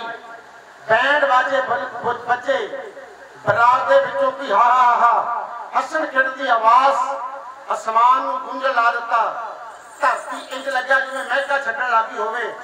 ਜਦੋਂ ਸਾਡੇ ਘਰ ਖੁਸ਼ੀ ਹੋਵੇ ਨਾ, ਉਦੋਂ ਸਾਨੂੰ ਧਰਤੀ ਵੀ ਮਹਿਕ ਦਿੰਦੀ ਹੈ। ਜਦੋਂ ਕਿਤੇ ਭਰਾਵੋ ਕਮੀ ਆ ਜਾਵੇ, ਉਦੋਂ ਸਾਡੀਆਂ ਸਾਰੀਆਂ ਚਾਰ ਸਵੇਰਾ ਬੰਦ ਹੋ ਜਾਂਦਾ ਹੈ। ਦੁੱਖਾਂ ਦੇ ਪਹਾੜ ਬਹੁਤ ਵੱਡੇ ਬਣ ਜਾਂਦੇ ਨੇ। ਸੁੱਖਾਂ ਦੇ ਪਹਾੜ ਆ ਜਿਹੜੇ, ਉਹ ਸਾਨੂੰ ਰੂਹ ਮੰਗ ਲੱਗਦੇ ਆ, ਹੌਲੇ ਲੱਗਦੇ ਆ। ਸੁੱਖਾਂ ਦੇ ਵਿੱਚ ਉਹ ਦੁਨੀਆ ਦੂਰੋਂ ਦੂਰੋਂ ਆ ਕੇ ਬਹਿੰਦੀ ਹੈ। ਪਰ ਵਿੱਚ ਸੁੱਖਾਂ ਦੇ ਸਾਰੀ ਦੁਨੀਆ ਨੇੜੇ ਟੁਕ ਟੁਕ ਬੈਂਦੀ ਪਰ ਕੇ ਜਾਨ ਸੱਜਣ ਉਸ ਵੇਲੇ ਜਦ ਬਾਜੀ ਉੱਠੀ ਪੈਂਦੀ ਪਰ ਜੇ ਸੱਜਣ ਆ ਕੇ ਬੈਠ ਜਾਣ। ਅੱਜ ਤੁਸੀਂ ਬੈਠੇ ਹੋ। ਇਹ ਸਿੰਧੜ ਪਰਿਵਾਰ ਨੂੰ, ਨੰਬਰਦਾਰ ਪਰਿਵਾਰ ਨੂੰ, ਸਰਦਾਰ ਸੱਜਣ ਸਿੰਘ ਜੀ ਨੂੰ। ਇੰਨੀ ਖੁਸ਼ੀ ਹੈ ਕਿ ਸੰਗਤੀ ਰੂਪ ਦੇ ਵਿੱਚ ਸਾਡੇ ਪਰਿਵਾਰ ਵਿੱਚ ਬੈਠੀ ਅੱਜ। ਆਏ ਸੰਗਤ ਸਾਡੀ ਖੁਸ਼ੀ ਵਿੱਚ ਵਾਧਾ ਕੀਤਾ। ਹੁਣ ਜਦੋਂ ਕਦੇ ਬੱਚੇ ਦੀ ਸਰਦੂਰ ਸਿੰਘ ਦੀ ਬਰਾਤ ਚੜੇਗੀ ਫਿਰ ਇਹਨਾਂ ਦੇ ਘਰ ਵਿੱਚ ਖੁਸ਼ੀਆਂ ਆਉਣਗੀਆਂ। ਜੇ ਕੋਈ ਨੰਬਰਦਾਰ ਸਾਹਿਬ ਆ ਗਏ, ਜਾਂ ਕੋਈ ਸਰਪੰਚ ਸਾਹਿਬ, ਸਰਦਾਰ ਰ- ਰਘਵੀਰ ਸਿੰਘ ਜੀ ਆ ਗਏ, ਸੈਕਟਰੀ ਬਲਵੀਰ ਸਿੰਘ ਜੀ ਆ ਗਏ ਕਮਲਜੀਤ ਸਿੰਘ ਜੀ ਬਲਾਕ ਸੰਮਤੀ ਮੈਂਬਰ ਸਾਹਿਬਾਨ, ਮਾਸਟਰ ਜੋਗਿੰਦਰ ਸਿੰਘ ਜੀ, ਸਰਦਾਰ ਜਰਨੈਲ ਸਿੰਘ ਜੀ, ਨੰਬਰਦਾਰ ਸਾਹਿਬ, ਥਾਣੇਦਾਰ ਸਾਹਿਬ ਝਲਮਰ ਸਿੰਘ ਜੀ, ਗੁਰਵਿੰਦਰ ਸਿੰਘ ਸਰਦਾਰ ਜੀ ਬੈਠੇ ਨੇ ਅਤੇ ਕੁਲਵਿੰਦਰ ਸਿੰਘ ਜੀ, ਬਿੱਟੂ, ਮਾਸਟਰ ਅਜੀਤ ਸਿੰਘ ਜੀ। ਇਹ ਜਦੋਂ ਸੋਹਣੀ ਸੋਹਣੀਆਂ ਪੱਗਾਂ ਬੰਨ ਕੇ ਸੋਹਣੇ ਕੱਪੜੇ ਪਾ ਕੇ, ਵਰਦੀ ਪਾ ਕੇ ਜਦੋਂ ਕਦੇ ਸੱਜਣ ਸਿੰਘ ਨੂੰ ਮਿਲਣਗੇ ਨਾ, ਇਹਨਾਂ ਦੀ ਖੁਸ਼ੀ ਦੀ ਹੱਦ ਨਹੀਂ ਰਹਿਣੀ ਵੀ ਮੇਰੇ ਪੁੱਤਰ ਦੇ ਵਿਆਹ ਦੇ ਵਿੱਚ ਖੁਸ਼ੀ ਵਿੱਚ ਵਸ਼ਮੀਕ ਹੋਇਆ ਹੈ ਤੇ ਖੁਸ਼ੀ ਵਿੱਚ ਕਿੰਨਾ ਵਾਧਾ ਹੋ ਜਾਂਦਾ ਹੈ। ਇਹ ਖੁਸ਼ੀ ਨੂੰ ਹਰ ਮਨੁੱਖ ਝਾਕਦਾ ਹੈ। ਹਰ ਮਨੁੱਖ ਦੇ ਕੰਨ ਤਰਸਦੇ ਕਿ ਮੈਨੂੰ ਕੋਈ ਮੁਬਾਰਕਬਾਦ ਦੇਵੇ। ਹਰ ਮਨੁੱਖ ਦੀਆਂ ਅੱਖਾਂ ਤਰਸਦੀਆਂ ਨੇ ਕਿ ਸਾਡਾ ਸੱਜਣ, ਸਾਡਾ ਮਿੱਤਰ ਪਿਆਰਾ ਆਵੇ ਤੇ ਮੈਂ ਉਹਨੂੰ ਚੰਗੀ ਤਰ੍ਹਾਂ ਤੱਕਾਂ। ਮਹਾਰਾਜਾ ਰਣਜੀਤ ਸਿੰਘ ਆਪਣੇ ਆਏ ਸੱਜਣਾਂ ਨੂੰ ਬੜੇ ਗੌਰ ਨਾਲ ਤੱਕਦਾ ਬੜੇ ਧਿਆਨ ਨਾਲ ਤੱਕਦਾ ਹੈ ਤੇ ਟਿੱਕਾ ਖੜਕ ਸਿੰਘ, ਉਹ ਆਪਣੇ ਪਿਤਾ ਨੂੰ ਤੱਕਦਾ ਤੇ ਕਦੇ ਆਪਣੇ ਪੁੱਤਰ ਨੂੰ ਤੱਕਦਾ ਹੈ। ਆਪਣੇ ਪੁੱਤਰ ਦੀ ਸ਼ਾਨ ਨੂੰ ਤੱਕਦਾ ਉਹਦੇ ਸਿਰ ਤੇ ਸਜਾ, ਸਿਹਰਾ ਇੰਨਾ ਸੋਹਣਾ ਲੱਗਦਾ ਹੈ ਕੋਈ ਕਹਿੰਦਾ ਚੰਦ ਦਾ ਟੁਕੜਾ ਜਿਹੜਾ ਚੰਦ ਕੌਰ ਸੀ, ਚੰਦ ਦਾ ਟੁਕੜਾ ਆਹ ਜਾਂਦਾ ਦੇਖੋ। ਹੁਣ ਪੁੱਤਰ ਇੱਕ ਐਸੀ ਚੀਜ਼ ਹੈ, ਪੁੱਤਰਾਂ ਦੇ ਨਾਲ ਮਨੁੱਖ ਦੀ ਜ਼ਿੰਦਗੀ ਹੈ। ਪੁੱਤਰਾਂ ਦੇ ਨਾਲ ਮਾਮਾ ਕਦੇ ਰਚਦੀਆਂ ਨਹੀਂ। ਜੇ ਦੋ ਪੁੱਤਰ ਹੈ, ਜਿਵੇਂ ਸੂਮਖੋਰ ਬੰਦਾ, ਉਹ ਧਨ ਨਾਲ ਨਹੀਂ ਨਾ ਰਜਦਾ ਤੇ ਮਾਂ ਕਦੇ ਪੁੱਤਰਾਂ ਨਾਲ ਨਹੀਂ ਰਜਦੀ। ਪੁੱਤਰ ਇੱਕ ਹੋਵੇ, ਦੋ ਹੋਵੇ, ਮਾਂ ਦੇ ਚਾਰ ਪੁੱਤਰ ਹੋਣ, ਲੇਕਿਨ ਮਾਂ ਦੀ ਭੁੱਖ ਨਹੀਂ ਲੈਂਦੀ। ਤੇ ਮਾਂ ਮਾਂ ਆਪਣੇ ਪੁੱਤਰਾਂ ਨੂੰ ਤੱਕਦੀ ਰਹਿੰਦੀ ਹੈ ਮਾਂ। ਮਾਂ ਇੱਕ ਅਮੋਲਕ ਖਜ਼ਾਨਾ ਹੈ। ਮਾਵਾਂ ਦਾ ਉਹਨਾਂ ਨੂੰ ਪਤਾ ਹੈ, ਜਿਹੜੀਆਂ ਮਾਵਾਂ ਮਤੇਰਾਂ ਦੇ ਬਸ ਪਾ ਕੇ ਤੁਰ ਗਈਆਂ ਜਾਂ ਛੋਟਿਆਂ ਨੂੰ ਦੁੱਧ ਚੁਗਦਿਆਂ ਨੂੰ ਸੰਸਾਰ ਤੋਂ ਕੂਚ ਕਰ ਗਈਆਂ ਵੀ ਮਾਂ ਨੂੰ ਉਹ ਪਿਆਰ ਕਰਦੇ ਆ ਲੋਕ। ਚੰਦ ਕੌਰ ਆਪਣੇ ਪੁੱਤਰ ਦੇ ਉੱਤੇ ਵਾਰ-ਵਾਰ ਵਾਰ-ਵਾਰ ਤੱਕਦੀ ਹੈ। ਮੱਥੇ ਨੂੰ ਚੁੰਮਦੀ ਹੈ। ਮਾਂ ਇੱਕ ਐਸਾ ਰਿਸ਼ਤਾ ਹੈ ਮਾਂ, ਬੜਾ ਪਿਆਰਾ ਰਿਸ਼ਤਾ ਹੈ। ਇੱਕ ਮਾਂ ਦੀ ਗੱਲ ਕਰਕੇ ਕਵਿਤਾ ਕਹਾਉਣ ਲੱਗੇ। ਗੁਰੂ ਨਾਨਕ ਦੇਵ ਸਾਹਿਬ ਮਹਾਰਾਜ ਕਹਿੰਦੇ, ਸਾਡੀ ਗੁਰਬਾਣੀ ਵਿੱਚ ਤੁਸੀਂ ਸਾਰੇ ਬਾਣੀ ਪੜ੍ਹਦੇ ਹੋ, ਬਾਣੀ ਪੜ੍ਹਨ ਵਾਲੇ ਹੋ। ਗੁਰੂ ਨਾਨਕ ਮਹਾਰਾਜ ਕਹਿੰਦੇ, ਇੱਕ ਸੰਸਾਰੀ, ਇੱਕ ਭੰਡਾਰੀ, ਇੱਕ ਲਾਏ ਦੀਵਾਨ। ਲੇਕਿਨ ਸਾਡੇ ਨਾਲ ਦੇ ਹਿੰਦੂ ਧਰਮ ਬਾਰੇ ਵੀਰ, ਉਹ ਕਹਿੰਦੇ ਨੇ, ਬ੍ਰਹਮਾ, ਵਿਸ਼ਨੂੰ, ਮਹੇਸ਼। ਕਹਿੰਦੇ ਤਿੰਨ ਦੇਵਤੇ ਹੈ। ਜਿਵੇਂ ਗੁਰੂ ਨਾਨਕ ਸਰਗੁਣ ਨਿਰਗੁਣ ਰੂਪ ਨੂੰ ਧਾਰਨ ਕਰਦੇ ਹਨ, ਉਹ ਦੱਸਦੇ ਹਨ, ਤੇ ਇਹ ਸਾਡੇ ਵੀਰ ਕਹਿੰਦੇ ਨੇ ਵੀ ਇੱਕ ਇੱਕ ਬ੍ਰਹਮਾ, ਇੱਕ ਵਿਸ਼ਨੂੰ, ਇੱਕ ਮਹੇਸ਼ ਹੈ। ਹੁਣ ਤਿੰਨ ਦੇਵਤਿਆਂ ਦੀ ਪੂਜਾ ਕਰਦੇ ਆ ਤੇ ਤਿੰਨ ਦੇਵਤਿਆਂ ਨੂੰ ਇਹ ਭਾਲਦੇ ਫਿਰਦੇ ਆ। ਅਸੀਂ ਵੀ ਅੱਜ ਸਾਡੇ ਦਾ ਸਾਖੀ ਸ੍ਰੀ ਗੁਰੂ ਗ੍ਰੰਥ ਸਾਹਿਬ ਮਹਾਰਾਜ ਹੈ। ਅਸੀਂ ਭਰਾਵੋ ਕਿੱਡੇ ਭਾਗਾਂ ਵਾਲੇ ਆ। ਸਾਡੇ ਦੂਜੇ ਧਰਮਾਂ ਕੋਲੇ ਗ੍ਰੰਥ ਵੀ ਸੀ ਤੇ ਸਾਡੇ ਧਾਰਮ ਗ੍ਰੰਥਾਂ ਦੇ ਨਾਲ ਉਹਨਾਂ ਕੋਲੇ ਧਾਰਮਿਕ ਕੇਂਦਰ ਵੀ ਸੀ। ਨਾ ਸਾਡੇ ਕੋਲ ਧਾਰਮਿਕ ਕੇਂਦਰ ਸੀ ਤੇ ਨਾ ਸਾਡੇ ਕੋਲ ਧਾਰਮਿਕ ਗ੍ਰੰਥ ਸੀ। ਸਾਡੇ ਤੇ ਗੁਰੂ ਅਰਜਨ ਦੇਵ ਸਾਹਿਬ ਮਹਾਰਾਜ ਨੇ ਕਿਰਪਾ ਕੀਤੀ। ਸਾਡੇ ਜਿਹੜੇ ਨਾਲ ਦੇ ਧਰਮ ਹਿੰਦੂ ਵੀਰ ਹੈ, ਇਹਨਾਂ ਕੋਲ ਧਾਰਮਿਕ ਗ੍ਰੰਥ ਸੀ। ਗੀਤਾ, ਵੇਦ, ਸ਼ਾਸਤਰ, ਗੈਤਰੀਆਂ ਤੇ ਇਹਨਾਂ ਦਾ ਜਿਹੜਾ ਧਰਮ ਕੇਂਦਰ ਸੀ, ਉਹ ਇਹਨਾਂ ਦੇ ਕੋਲ ਕਾਸ਼ੀ, ਬਨਾਰਸ ਇਹਨਾਂ ਕੋਲੇ ਸੀ। ਤੇ ਜਿਹੜੇ ਸਾਡੇ ਧਰਮ ਵਾਲੇ ਈਸਾਈ ਧਰਮ ਵੀਰ ਹੈ। ਉਹਨਾਂ ਕੋਲੇ ਉਹਨਾਂ ਦਾ ਧਾਰਮ ਗ੍ਰੰਥ ਸ੍ਰੀ ਬਾਈਬਲ ਤੇ ਉਹਨਾਂ ਦੇ ਕੋਲ ਧਾਰਮ ਕੇਂਦਰ ਯੂਰੋਸ਼ਲਮ ਤੇ ਜਿਹੜੇ ਸਾਡੇ ਮੁਸਲਮਾਨ ਵੀਰ ਹੈ, ਉਹਨਾਂ ਕੋਲੇ ਸ੍ਰੀ ਕੁਰਾਨ ਸ਼ਰੀਫ ਗ੍ਰੰਥ ਤੇ ਉਹਨਾਂ ਕੋਲੇ ਧਾਰਮਿਕ ਕੇਂਦਰ ਮੱਕਾ ਮਦੀਨਾ ਸਾਡੇ ਕੋਲੇ ਕੁਝ ਵੀ ਨਹੀਂ ਸੀ। ਤੇ ਸਾਡੇ ਤੇ ਕਿਰਪਾ ਕੀਤੀ ਗੁਰੂ ਅਰਜਨ ਦੇਵ ਸਾਹਿਬ ਮਹਾਰਾਜ ਨੇ ਸਾਨੂੰ ਧਾਰਮਿਕ ਕੇਂਦਰ ਦਿੱਤਾ ਸ੍ਰੀ ਦਰਬਾਰ ਸਾਹਿਬ ਹਰਮੰਦਰ ਸਾਹਿਬ। ਤੇ ਸਾਨੂੰ ਧਾਰਮਿਕ ਗ੍ਰੰਥ ਦਿੱਤਾ ਸ੍ਰੀ ਗੁਰੂ ਗ੍ਰੰਥ ਸਾਹਿਬ ਮਹਾਰਾਜ ਜਿਹਨੂੰ ਪਦਵੀ ਦਿੱਤੀ ਗੁਰੂ ਦੀ, ਗੁਰੂ ਗੋਬਿੰਦ ਸਿੰਘ ਮਹਾਰਾਜ ਜੀ ਨੇ। ਕਿਰਪਾ ਕਰ ਦਿੱਤੀ ਨਾ, ਤੇ ਇਹਦੇ ਵਿੱਚ ਗੁਰੂ ਪਾਤਸ਼ਾਹ ਨੇ ਸਾਨੂੰ ਬੜੀ ਸਿੱਖਿਆ ਦਿੱਤੀ। ਇਹ ਕਹਿੰਦੇ, ਬ੍ਰਹਮਾ, ਵਿਸ਼ਨੂੰ, ਮਹੇਸ਼ ਤਿੰਨ ਦੇਵਤੇ ਹੈ ਪਰ ਇਹ ਤਿੰਨ ਦੇਵਤੇ ਮੈਂ ਆਪਣੀਆਂ ਅੱਖਾਂ ਨਾਲ ਦੇਖਿਆ। ਤੁਸੀਂ ਕਹੋਗੇ, ਭਾਈ ਸਾਹਿਬ ਜੀ, ਤੁਸੀਂ ਕਿਵੇਂ ਦੇਖ ਲਏ?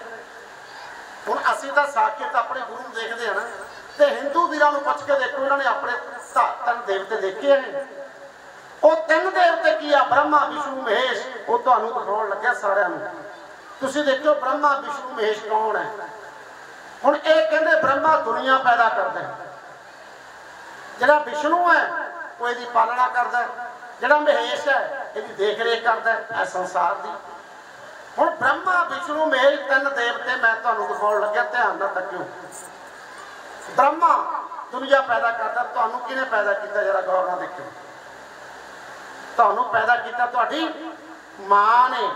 ਮਾਂ ਕੋਲੇ ਰਤਬਾ ਬ੍ਰਹਮਾ ਦਾ ਤੇ ਤੁਹਾਡੀ ਮਾਂ ਨੇ ਤੁਹਾਡੀ ਪਾਲਣਾ ਕੀਤੀ। ਆਪਣੇ ਛਾਤੀ ਚੋਂ 60% ਚਰਬੀ ਘੋਲ ਕੇ ਉਹਨੇ ਤੁਹਾਨੂੰ ਪਿਆਈ। ਆਪ ਗਿੱਲੇ ਪਿੰਡ ਰਹੀ, ਮਲ ਮੂਤਰ ਵਿੱਚ ਪੈਂਦੀ ਰਹੀ। ਤੁਹਾਨੂੰ ਸੁੱਕੇ ਪਾਇਆ। ਉਹ ਭੈਣੋ ਭਰਾਵੋ, ਦੱਸੋ ਤੁਹਾਡੀ ਮਾਂ ਫਿਰ ਹੋਈ ਨਾ? ਬਰਮਾ ਵਿਸ਼ਨੂੰ, ਮਹੇਸ਼। ਤੇ ਮਾਂ ਨੂੰ ਪਤਾ ਹੁੰਦਾ, ਮੈਂ ਆਪਣੇ ਪੁੱਤਰ ਦੇ ਕੱਪੜੇ ਧੋਣੇ ਆ ਮਾਂ ਨੂੰ ਪਤਾ ਹੁੰਦਾ ਮੇਰਾ ਪੁੱਤਰ ਭੁੱਖਾ ਹੈ। ਮਾਂ ਨੂੰ ਪਤਾ ਹੁੰਦਾ ਮੈਂ ਆਪਣੇ ਪੁੱਤਰ ਨੂੰ ਵਰਦੀ ਦੇਣੀ ਹੈ, ਬੂਟ ਦੇਣੇ ਹੈ। ਬ੍ਰਹਮਾ, ਵਿਸ਼ਨੂੰ, ਮਹੇਸ਼ ਮਾਂ ਹੈ। ਮਾਂ ਵਰਗਾ ਕਣਸ਼ਾਮਾ ਬੂਟਾ ਮੈਨੂੰ ਨਜ਼ਰ ਨਾ ਆਏ, ਜਿਸ ਤੋਂ ਲੈ ਕੇ ਸ਼ਾਹ ਉਧਾਰੀ ਰੱਬ ਨੇ ਸਵਰਗ ਬਣਾਏ। ਬਾਕੀ ਕੁੱਲ ਦੁਨੀਆ ਦੇ ਬੂਟੇ ਜੜ ਸੁੱਕਿਆਂ ਸੁੱਕ ਜਾਂਦੇ ਐ ਪਰ ਫੁੱਲਾਂ ਦੇ ਕਮਲਾਇਆ, ਇਹ ਮਾਂ ਬੂਟਾ ਸੁੱਕ ਜਾਏ। ਇਹ ਮਾਂ ਚੰਦ ਕੌਰ ਆਪਣੇ ਪੁੱਤਰ ਨੂੰ ਤੱਕਦੀ ਹੈ ਤੇ ਗਦਗਦ ਹੋ ਜਾਂਦੀ ਹੈ। ਹੁਣ ਮਾਂ ਆਪਣੇ ਪੁੱਤਰ ਦੇ ਆਲੇ ਦਾਲੇ ਘੁੰਮਦੀ ਹੈ। ਅੱਜ ਬਰਾਤ ਦੇ ਵਿੱਚ ਸ਼ਹਿਨਾਈਆਂ ਬੱਜੀਆਂ ਬੈਂਡ ਬਾਜਿਆਂ ਦੀ ਧੁਨ ਉੱਠੀ। ਜਿਹੜੇ ਬਾਜੇ ਹੈ, ਉਹਦੀ ਗੂੰਜ ਉੱਠਦੀ ਹੈ। ਤੇ ਜਿਹੜੇ ਬੈਂਡ ਵੱਜਦੇ ਹੈ, ਉਹਦੀ ਆਵਾਜ਼ ਨੇ ਅਸਮਾਨ ਗੂੰਜਣ ਲਾ ਦਿੱਤਾ। ਇਹਦੇ ਢੋਲ ਧਮਕਾ, ਇਹਦੇ ਡੱਗੇ ਨੇ ਧਰਤੀ ਹਿਲਾ ਦਿੱਤੀ। ਧਰਤੀ ਮਹਿਕਾਂ ਦੇਣ ਲੱਗੀ। ਅੱਜ ਜਿਵੇਂ ਕਮਰ ਨੌ ਨਿਹਾਲ ਦੀ ਬਰਾਤ ਸ਼੍ਰੀ ਦਰਬਾਰ ਸਾਹਿਬ ਤੋਂ ਅਟਾਰੀ ਵੱਲ ਨੂੰ ਜਾਂਦੀ ਹੈ। ਅਟਾਰੀ ਵੱਲ ਨੂੰ ਜਾਂਦੀ ਬਰਾਤ ਦਾ ਸੀਨ ਢਾਡੀ ਜਥਾ ਗਾ ਕੇ ਪੇਸ਼।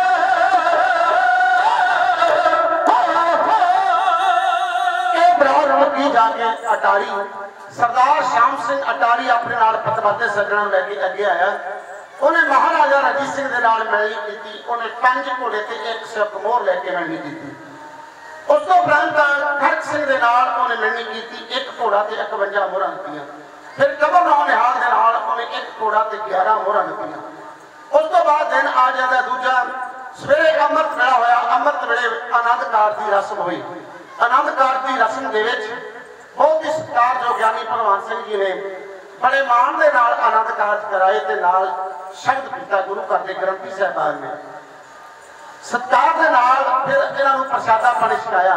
ਇੱਥੋਂ ਦੇ ਆਏ ਭੰਡਾਂ ਨੇ ਆਪਣੇ ਟੋਟਕੇ ਛਕਾਏ ਤੇ ਲੋਕਾਂ ਨੂੰ ਬੜਾ ਬਰਾਤ ਰੋਸ ਆਇਆ ਮਹਾਰਾਜਾ ਰਣਜੀਤ ਸਿੰਘ ਕੱਲੇ ਕੱਲੇ ਵਿੱਚ ਫਿਰਦਾ ਕੱਲੇ ਕੱਲੀ ਬਰਾਤ ਦੇ ਵਿੱਚ ਫਿਰਦਾ ਤੇ ਸਾਡੇ ਵਰਗੇ ਢਾਡੀ ਆ ਗਏ ਢਾਡੀਆਂ ਨੂੰ ਦੇਖ ਕੇ ਮਹਾਰਾਜਾ ਰਣਜੀਤ ਸਿੰਘ ਖੁਸ਼ ਹੋਇਆ। ਤੇ ਮੈਂ ਇੱਕ ਢਾਡੀ ਵਾਰ ਕਹਿਣ ਲੱਗੇ, ਜਿਹੜੀ ਮਹਾਰਾਜਾ ਰਣਜੀਤ ਸਿੰਘ ਕਹਿਣ ਲੱਗਿਆ ਸੀ, ਮੈਨੂੰ ਵਾਰ ਸੁਣਾਓ। ਢਾਡੀ ਸਿੰਘ ਆਏ ਢਾਡੀ ਸਿੰਘਾਂ ਨੂੰ ਕਹਿਣ ਲੱਗੇ ਢਾਡੀ ਸਿੰਘੋ, ਓਏ ਆਓ ਮੇਰੇ ਪੋਤੇ ਦੀ ਖੁਸ਼ੀ ਦੇ ਵਿੱਚ ਸ਼ਰੀਕ ਹੋਇਓ। ਉਹ ਮੈਨੂੰ ਇੱਕ ਢਾਡੀ ਬਾਤ ਸੁਣਾਓ। ਸਾਡਾ ਸਿੱਖਾਂ ਦਾ ਸਰਦਾਰ ਉਹ ਜੋਧਾ, ਬਹਾਦਰ, ਸੂਰਮਾ, ਬਾਬਾ ਬੰਦਾ ਸਿੰਘ ਬਹਾਦਰ ਦੀ ਵਾਰ ਮੈਂ ਸੁਣਨੀ ਚਾਹੁੰਦਾ ਉਹ ਸਾਡਾ ਕੌਮ ਦਾ ਜਰਨੈਲ ਹੋਇਆ ਹੈ। ਮੈਨੂੰ ਉਹਦੀ ਵਾਰ ਜ਼ਰੂਰ ਸੁਣਾਓ। ਹੁਣ ਢਾਡੀ ਹੋਏ ਪਿਆਰ। ਢਾਡੀਆਂ ਨੇ ਆਪਣੀ ਸਰੰਗੀ ਨੂੰ ਕੱਸਿਆ ਉੱਚੀ, ਤੂੰ ਵੀ ਕੱਸ ਲਾ ਵੇ, ਪੂਰੀ ਜੋਤ ਦੀ ਗੱਲ ਢਾਡੀ ਬਾਹਰ ਲਾਉਣੀ ਹੈ। ਤੇ ਢਾਡੀਆਂ ਨੂੰ ਕਿਹਾ ਵੀ ਢਾਡੀ, ਆਪਣੀਆਂ ਢੱਡਾਂ ਦੇ ਟਣਕਾਰੇ ਪਾਉਣਗੇ।